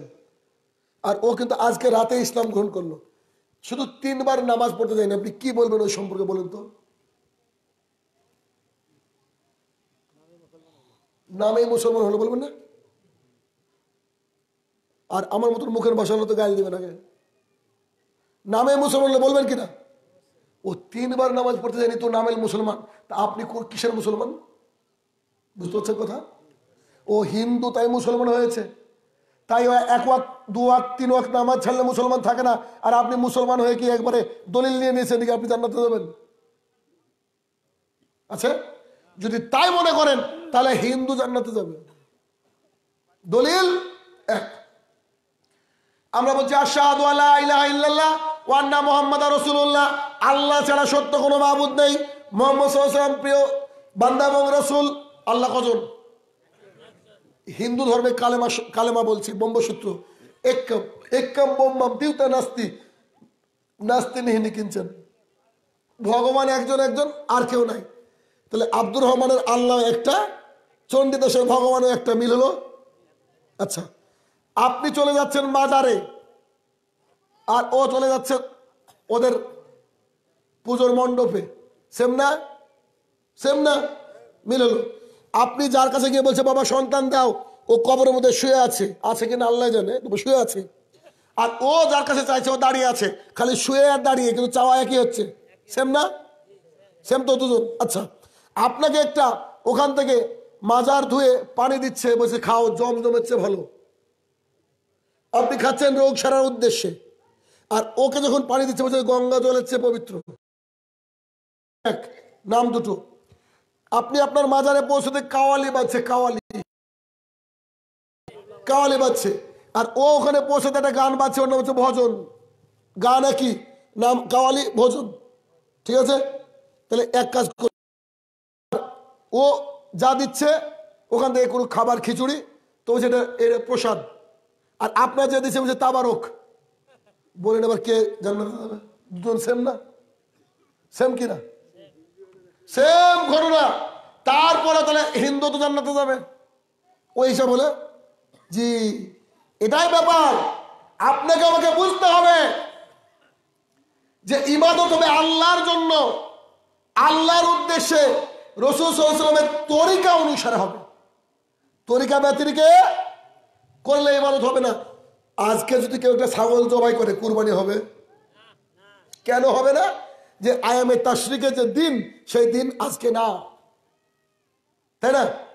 কেউ একটা ছাগল জবাই করছে, বিশাল বড় ছাগল, শুধু বিসমিল্লা বলেনি, খাওয়া যাবে? কেউ একটা গরু, মুরগি জবাই করছে, কিন্তু ও নামাজ পড়ে না, ও খাওয়া যাবে? তো পোলট্রি কিনে এনে খান কেন? যাইজ না তো খাওয়া যে সলাত আদায় করে না, ওই ব্যক্তি কোনো কিছু জবাই করলে না, খাওয়া যায় না। আপনার ছেলে যদি আজকে কোনো মুরগি জবাই করে, ছেলে যদি সলাতে আদায় না করে, তো হাড়ি সিদ্ধি ফেলে দেবেন বা- এখানে এখান থেকে গিয়ে। জায়েজ নয় খাওয়াটা। হারাম। আল্লাহ সাহেবেরা হওয়া গোস্ত ফেলে দিয়েছে, গৃহপালিত গাজার গোস্ত হারাম। এই জন্য। তো রসুল সাহেবকে মেনে নিতে হবে। পুঙ্খানুপুঙ্খভাবে মেনে নিতে হবে। যা বলেছেন তাই সেইভাবে, ওইভাবে মেনে নিতে হবে। এটা হচ্ছে আল্লাহ রসুলকে মেনে নাও। কি, মাদ্রাজি? সবাই বলেন, মাদ্রাজি? জি আল্লাহ রসুলকে মেনে নেবেন দেখবেন শান্তি আসবে, অবশ্যই আসবে। অত্যাচার নেমে আসতে পারে, সাহায্য করবেন কে? আল্লাহ তাআলা। কারণ আল্লাহ তাআলা বলছেন, কুল ইন কুনতুম তুহিব্বুনাল্লাহ ফাত্তাবিউনি। যদি আমাকে ভালোবাসতে চাও, ফাত্তাবিউনি, নবীকে ভালোবাসো, এটা বলেননি। কি বলেছেন নবীকে অনুসরণ করো, অনুকরণ করো। ভালোবেসেও জাহান নামে গিয়েছে, প্রমাণ হয়েছে আবু তালেব, আব্দুল মুতালেব শোনেননি হাদি জানেন না? তাহলে ভালোবাসলে হবে না। আপনাদের দেশে, আমাদের দেশে এক শ্রেণির মানুষ আছে, শুধু বারোই রবিউল আওয়ালের দিনে ভালোবাসা দেখায় রাস্তায় রাস্তায়। ইয়া নবী, সালাম আলাইকা। সারা বছর মদ, সুদ খুশ জেনার সাথে যুক্ত।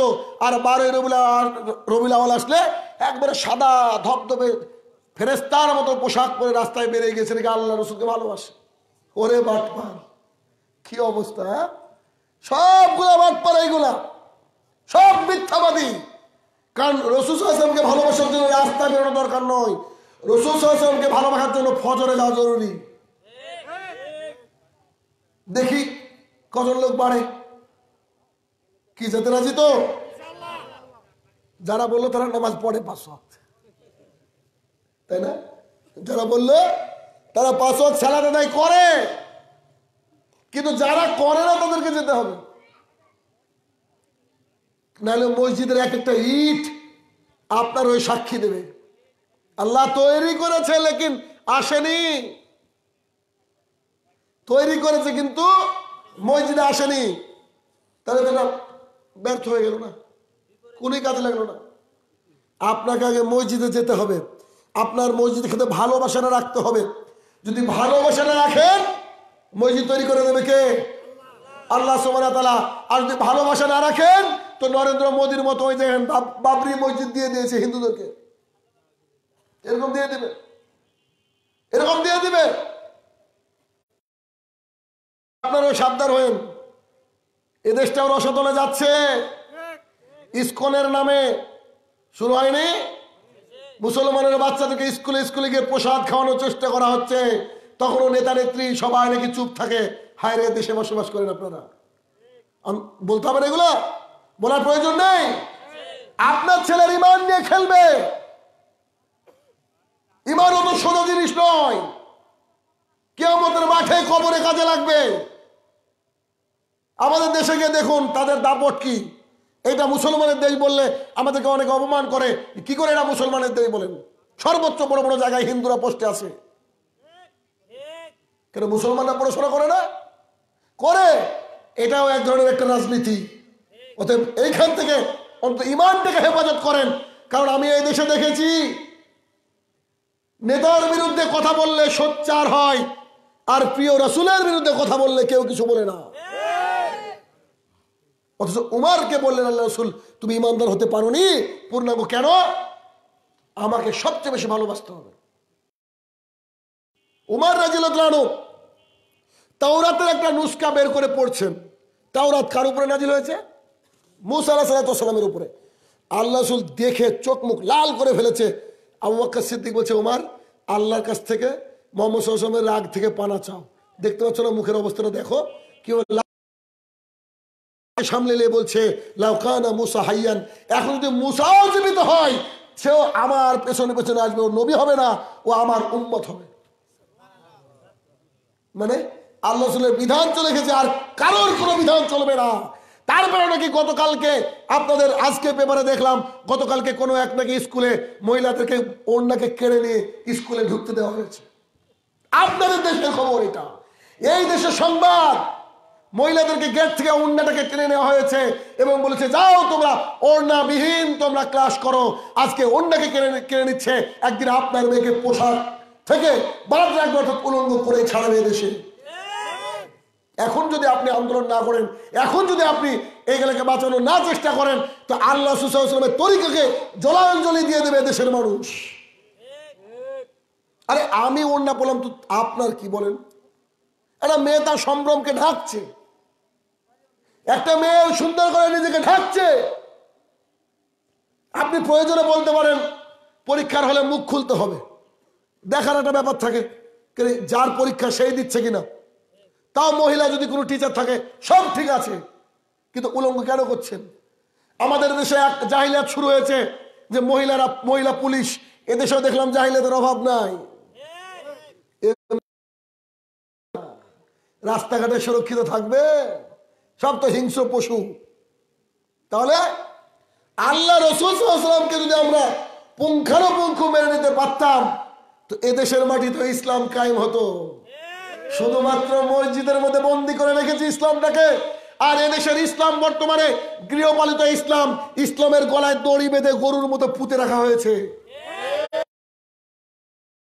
ইসলামের মতো চলতে দিতে হবে। ইমাম সর্বোচ্চ কথা বলবে। ইমামের উপরে আর কেউ দিতে কোনো কথা বলতে পারবে না। দেখি দেশেও মাঝে মাঝে বলা হয় যে, আমি খুদবা লিখে দেবো, তুই বলবি? ওরে বাপরে বাপ। কত বড় কোয়ালিটি বানাও। আলা মানুষ চিন্তা করেন একবার। তাহলে সবারই তরিকাকে বাদ দিয়ে কার তরিকা মানতে হবে? রসুল সাল্লামের আল্লাহ যা দিয়েছে তাইকে গ্রহণ করতে হবে? এর পরের পয়েন্ট হচ্ছে শির্ক থেকে দূরে থাকতে হবে। আল্লাহ সুবহানাহু ওয়া বললেন, হে আমার প্রিয় রাসুল, তুমি যদি শির করো, তোমার আমলও বাতিল। সূরা জুমার আয়াত নম্বর পঁয়ষট্টি। শির্ক কি করলে হয়? বাংলাদেশের জমিনে হজ করতে ক টাকা খরচ? চার লাখের আশপাশে। তো একজন ব্যক্তি খুব শর্টে বুঝেন। একজন ব্যক্তি হজ করতে গিয়েছে। রসুল সাল্লাম বলছেন, কোন ব্যক্তি যদি হজ করে আর তা যদি আল্লাহ দরবারে কবুল হয়ে যায় তাহলে ওই ব্যক্তি আর একটা বাচ্চা, শিশু এখন পেট থেকে হলো। কোনো পাপ থাকে না। সত্যি সত্যি একজন ব্যক্তি গিয়েছে হজ করতে এবং আল্লাহ তার হজকে কবুলও করে নিয়েছে। ঢাকা এয়ারপোর্টে নেমেছে। এয়ারপোর্টে নেমে ও বাড়ির থেকে গাড়ি গিয়েছে আনতে। এবার পীরের তো আপনাদের দেখে অভাব নাই। আছে আমাদের দেশেও আছে। আমরা তো কাফের দেশে বসবাস করি। আপনার তো হ্যাঁ। তো আমার আমার হিসাব বলে আমরা অনেক ভালো আছি আপনাদের চেয়ে। এ দেশে কথা বলা মুশকিল, কিন্তু ওই দেশে কথা বলা মুশকিল না। তো এবার এক পীরের দরবার দিয়ে যেতে গিয়ে চট করে দাঁড়িয়ে দিয়েছে। বাবা, ওরস হবে ওরস। হাজার খানিক টাকা দিয়ে যান। ওরস এর বাংলা মানে কি জানেন? বাসর রাত। নাউজুবিল্লাহ মিন জালিক। আল্লাহ এ জাতি মানেও বুঝে না। তো বলছে, ওরস মানে পীরের দরবারে চাঁদা দিয়ে যান, মাজারে চাঁদা দিয়ে যান। আপনি পকেট খুঁজে দেখলেন, পাঁচ টাকার একটা কয়েন পড়ে আছে। কোনো টাকা নাই। ক টাকা খরচ হজ করতে? চার লাখ। পাঁচ টাকার কয়েনটা হাতে দিয়ে দিয়েছেন। টুক করে একটা আওয়াজ হয়েছে, চার লাখ টাকা বাতিল, আবার হজ করতে যেতে হবে। বুঝেননি? পেছনে যা ছিল আমল, সব শেষ। একবারে ফরম্যাট হয়ে গেছে নট ডিলিট ফরম্যাট মানে কিছুই থাকে না মোবাইলে একবারে টোটালি ফরম্যাট হয়ে গেছে। যা করেছিলেন, সব বাতিল, আবারও আপনাকে যেতে হবে। গিয়ে হজ করতে হবে। যদি হজের নেকি নিতে চান, বুঝতে পেরেছেন? শির্ক হচ্ছে আপনার বিশাল বড় বিল্ডিং এর পাহাড়, বিশাল বড় ইমাদতের বিল্ডিং কে একটা অ্যাটম বোমের মাধ্যমে যেমন উড়িয়ে দেওয়া যায়।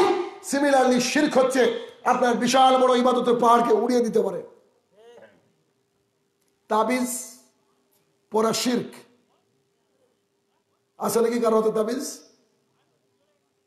থাকলেও কি বলবে? কিয়ামত চলে গেল বলবে না। রসুল বলছেন মান্তাল্লেখা তামি ও ফাঁকা দাস রাখা মুস্তুদ আহমদ চার নম্বর খণ্ড দুশো ছাপ্পান্ন নম্বর পৃষ্ঠা। রসুল সাল্লাম বলছেন, যে ব্যক্তি তাবিজ ঝুলালো, ওই ব্যক্তি শির করল। শির করলে থাকার জায়গা? যার নাম, তো যে ব্যক্তি তাবিজ বিক্রি করল, যার কাছে তাবিজেরই দোকান। বুঝতে পেরেছেন? ও শিরকের ব্যবসা করে, শির্ক নিয়ে কাজ করে ও।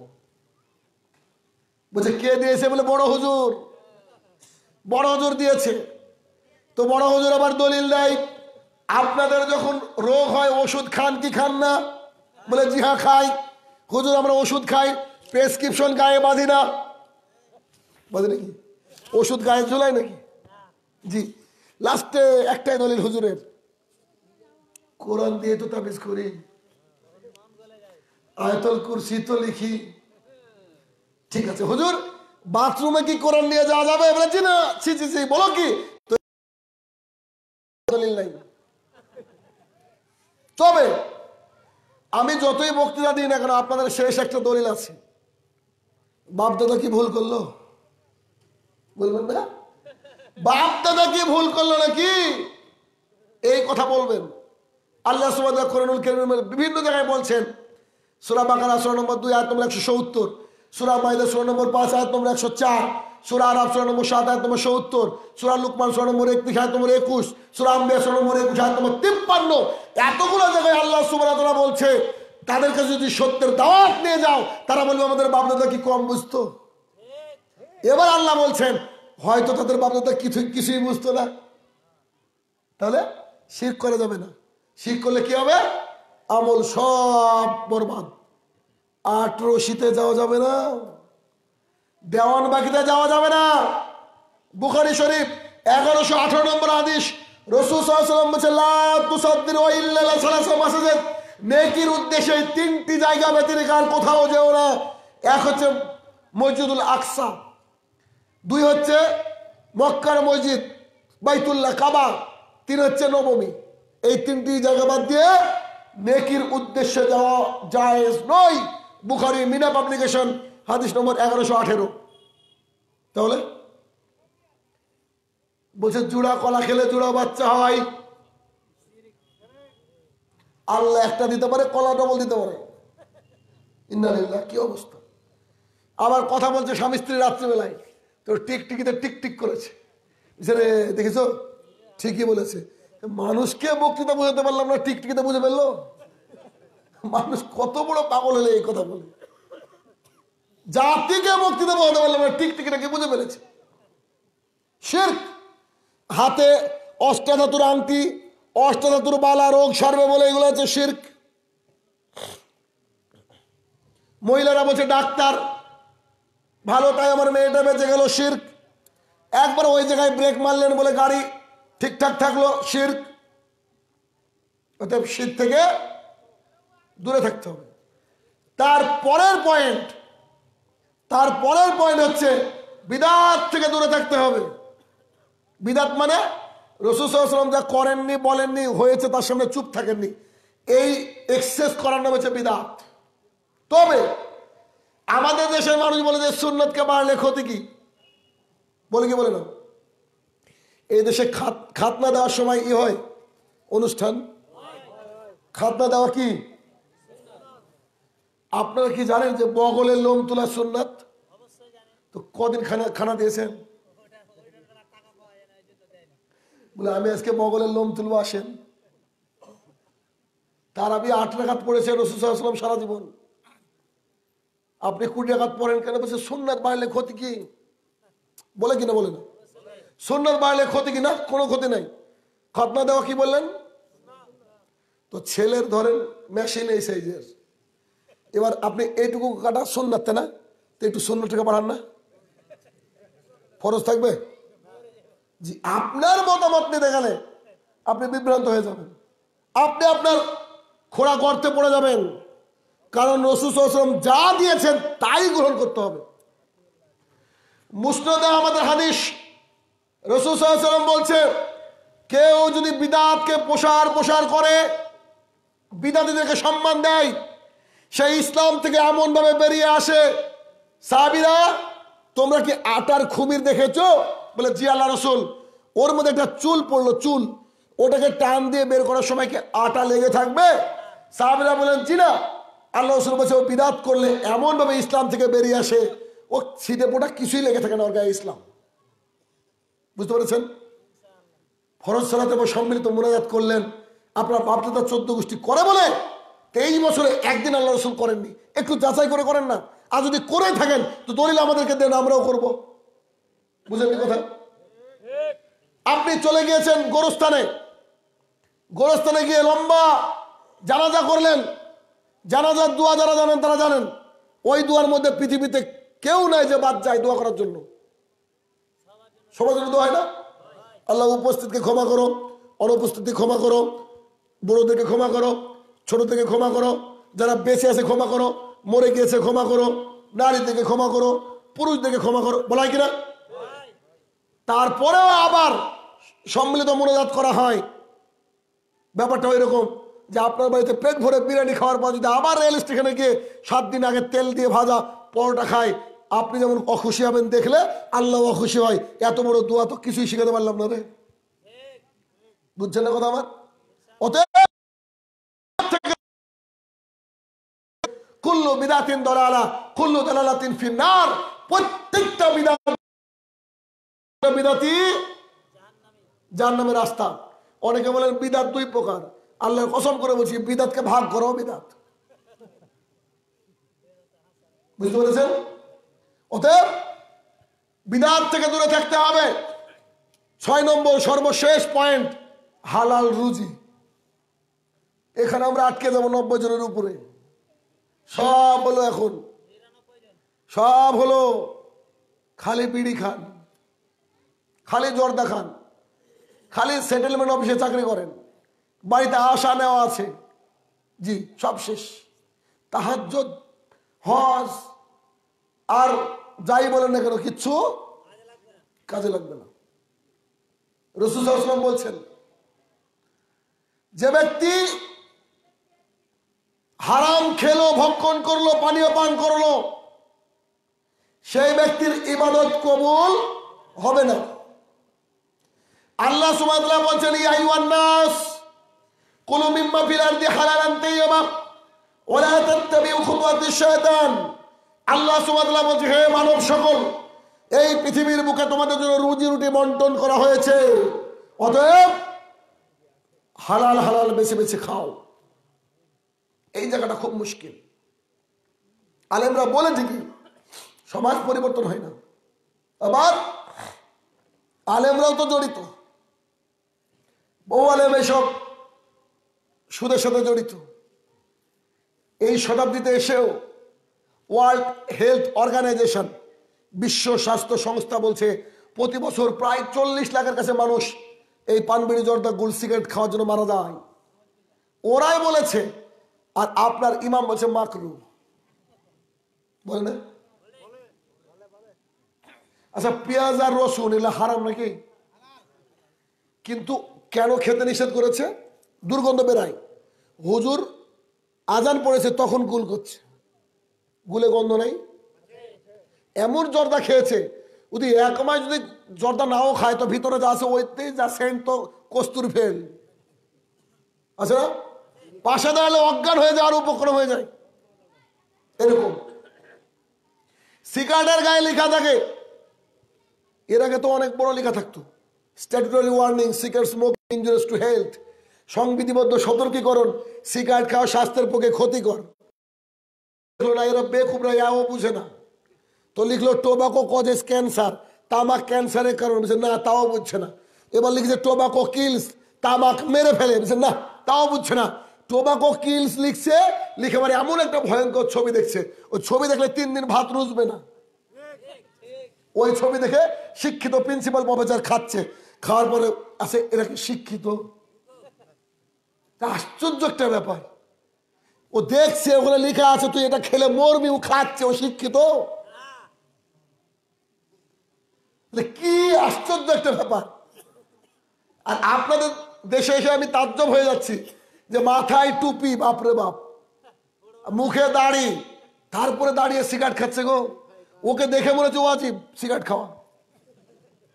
কি অবস্থা আল্লাহ। এত অন্যায় সমাজের বুকে ঘটছে। এক- একটু খারাপ লাগে না। যেমন মুখে দাড়ি রয়েছে, মাথায় টুপি রয়েছে, এর মধ্যে আমি সিগারেট টানছি, সি সি সি। কি অবস্থা চিন্তা করেন। আচ্ছা হুজুর যে বলল মাখরু তো রসুল সাল্লামকে জিজ্ঞাসা করি, এটা কি? আর আয়সা রাজি আল্লাহ তালুমা কল কল রসুল্লাহ সাল্লাহ সাল্লাম আয়সা রাজি আল্লাহ তালা বলেন, রসুল সাল্লাম বলেছেন, কুল্লু মুস্কিরিন খামরিন ওয়াকুল্লু খামরিন হারামুন, প্রত্যেকটা নেশাদার বস্তু মদ আর প্রত্যেকটা মদই হারাম। তাহলে হুজুরের কত বড় সাহস? সুস্পষ্ট হাদিস প্রত্যেকটা যার মধ্যে নেশা রয়েছে তা হারাম। মদ, তাই হারাম। আর উনি বলছেন, নেশা দুই প্রকার। ভাবেন আচ্ছা এবার হুজুরকে সাইজ করার হাদিস। বুখারি, মুসলিমের হাদিস। নোমান ইবনে বাসির রাজিয়াল্লাহু তাআলা বলেন, রাসূল সাল্লাল্লাহু বলেছেন, হালাল স্পষ্ট, হারাম স্পষ্ট। মাঝে যা রয়েছে তা হচ্ছে সন্দেহ। এরপরে আল্লাহ রসুল বলছেন, যে ব্যক্তি সন্দেহ থেকে বেঁচে থাকল, সে তার দিন ইসলাম ইজ্জত আবরুকে অনেক উঁচুতে নিয়ে গেল। আমরা চাই না দিন ইসলাম উপরে উঠুক, আমাদের চরিত্র আরও সুন্দর হোক, চাই। এরপরে রসুলাম ভাবলো, মনে হয় সাহাবিরা নাও বুঝতে পারে, কিংবা আমরা না বুঝতে পারি। আল্লাহ রসুল বলছে, সাহাবিরা, প্রত্যেকটা রাজার আলাদা আলাদা ঘেরা জায়গা থাকে, বলে জি, নিষিদ্ধ জায়গা থাকে। ধরো তুমি একটা গরু বা ছাগল আলে চড়াচ্ছ, আল বলেন তো আপনারা? জমির আল বলেন না? আলে চড়াচ্ছ। তো ওই গরু বা ছাগল ওই দিকে অপরের ফসলে কি মুখ দেবে? তখন সাহেবরা বলছে, বেশিরভাগ চান্সি তো মুখ দেবে। ও তো পশু বোঝে না। আলে চলে মুখ দেবে। আল থেকে ওদিকে নিয়ে গেলে চান্স আর নাই। তো রসুল সাহেব বলছে, যদি মুখ দেয় সন্দেহটা হারাম। বুঝতে পারেননি? হালাল স্পষ্ট, হারাম স্পষ্ট, মাঝে যা আছে সন্দেহ। আল্লাহ সাল্লাম বুঝে দিলেন, সন্দেহটাও হারাম সন্দেহ মানে হারাম। এরপরে আল্লাহ রসুল ভাবলেন যে, না, সাহাবিরা তাও হয়তো বুঝতে পারেনি। দেখেন, কি করে খুলে খুলে বুঝে দিয়েছি। আল্লাহ রসুল বলছে, একজন ব্যক্তি সফরে গিয়েছে, সফর। সফরে গেলে আল্লাহ তার দু হাতকে ফিরে দিতে লজ্জাবোধ করেন। আল্লাহ যা চাইবেন দিয়ে দেয় সফরে। তো সেই ব্যক্তির চুলগুলো এলোমেলো, গায়ে সব ধুলোবালি সেই ব্যক্তি খোলা মাঠে গিয়ে বলছে ইয়ার আব্বি ইয়ার আব্বি হে আমার প্রতিপালক, হে আমার প্রতিপালক। আল্লাহ রসুল বলছেন, বলো তো, এই লোককে কি করে আল্লাহ ক্ষমা করবে? খাবার খেয়েছে হারাম, পানীয় খেয়েছে হারাম, ও যে গায়ে পোশাক রয়েছে হারাম, শেষে বললেন ও গুদিয়া বিল হারাম, তার বেড়ে ওঠাটাই হারাম। আল্লাহ কি করে ক্ষমা করে? বুঝতে পেরেছেন? এই জন্য মুসলিম শরীফের হাদিস রসুলাম বলছে আল্লাহ পবিত্র পবিত্র জিনিস ছাড়া গ্রহণ করে না। তাহলে বুঝছেন বিষয়টা? হারাম। আচ্ছা এই যে আশা বা ডেস্টিনি বা এই ধরনের জিনিস আসে এলাকায়? আল্লাহ আকবার। আবু তিরমিজির হাদিস। বলতে খারাপ লাগে, তাও বলি। রসুল সাল্লাম বলেছেন এক টাকা সুদ খেলে, সুদ দিলে, সুদ নিলে সত্তরটা পাপ হয়। সবচেয়ে নিচের পাপ হচ্ছে নিজের মাকে রেপ করা। নিজের মায়ের সাথে জেনা করা এক টাকা সুদ খেলে সত্তরটা পাপ হয়, তার মধ্যে সবচেয়ে নিচের পাপ হচ্ছে নিজের মায়ের সাথে জেনা করা। এই জন্য তো আমাদের দেশে এত অন্যায়, এত অত্যাচার, এত গজব আল্লাহ তরফ থেকে নেমে আসছে, কারণ প্রায় পরিবার তার ছেলেরা তার মায়ের সাথে জেনায় লিপ্ত। আল্লাহ সুবাহ মধ্যে বলছেন, ইয়া আমানু ওয়া দারু মা মিনার রিবা। ইন কুনতুম মুমিনিন ফাইল্লাম তাফালু ফাদানু বিহারবি মিনাল্লাহি রাসূলিহি।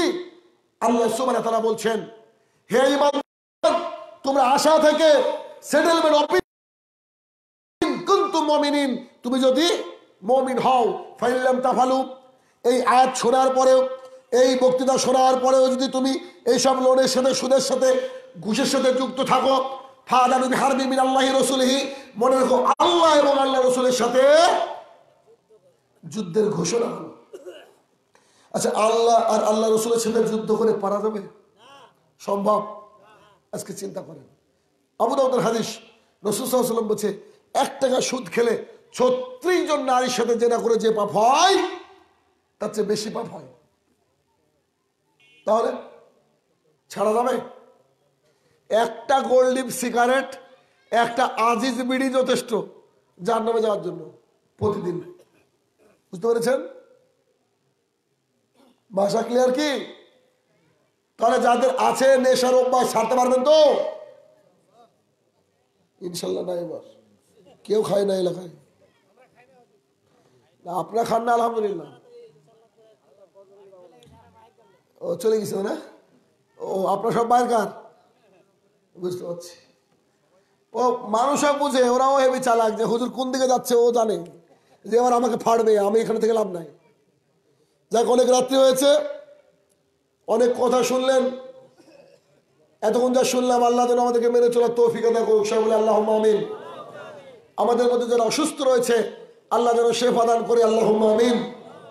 আমাদের মধ্যে যারা এখনও হালাল রুজির সাথে সম্পৃক্ততা রাখে না, আল্লাহ যেন হালাল রুজি দিয়ে সম্পৃক্ততা দান করে আল্লাহ আমিন। হে আমার প্রতি বালক এই যে ছটা ইবাদত কবুলের শর্ত, আমরা যেন পূর্ণাঙ্গ শর্ত মেনে চলতে পারি, আল্লাহ সেই তৌফিক আদা করুক। আল্লাহ আমিন। হে আমার প্রতিপালক, আজকে হানাফি সাফি মালিকি, খারিজি, মোতাজেলার নামে বিভক্ত হয়ে আছি। এই তৌহিদের ভিত্তিতে আমরা যেন সবাই একই সাথে থাকতে পারি, মুসলমান ভাই ভাই হয়ে থাকতে পারি, তার জন্য তৌফিক আদা করো। আল্লাহ আমিন।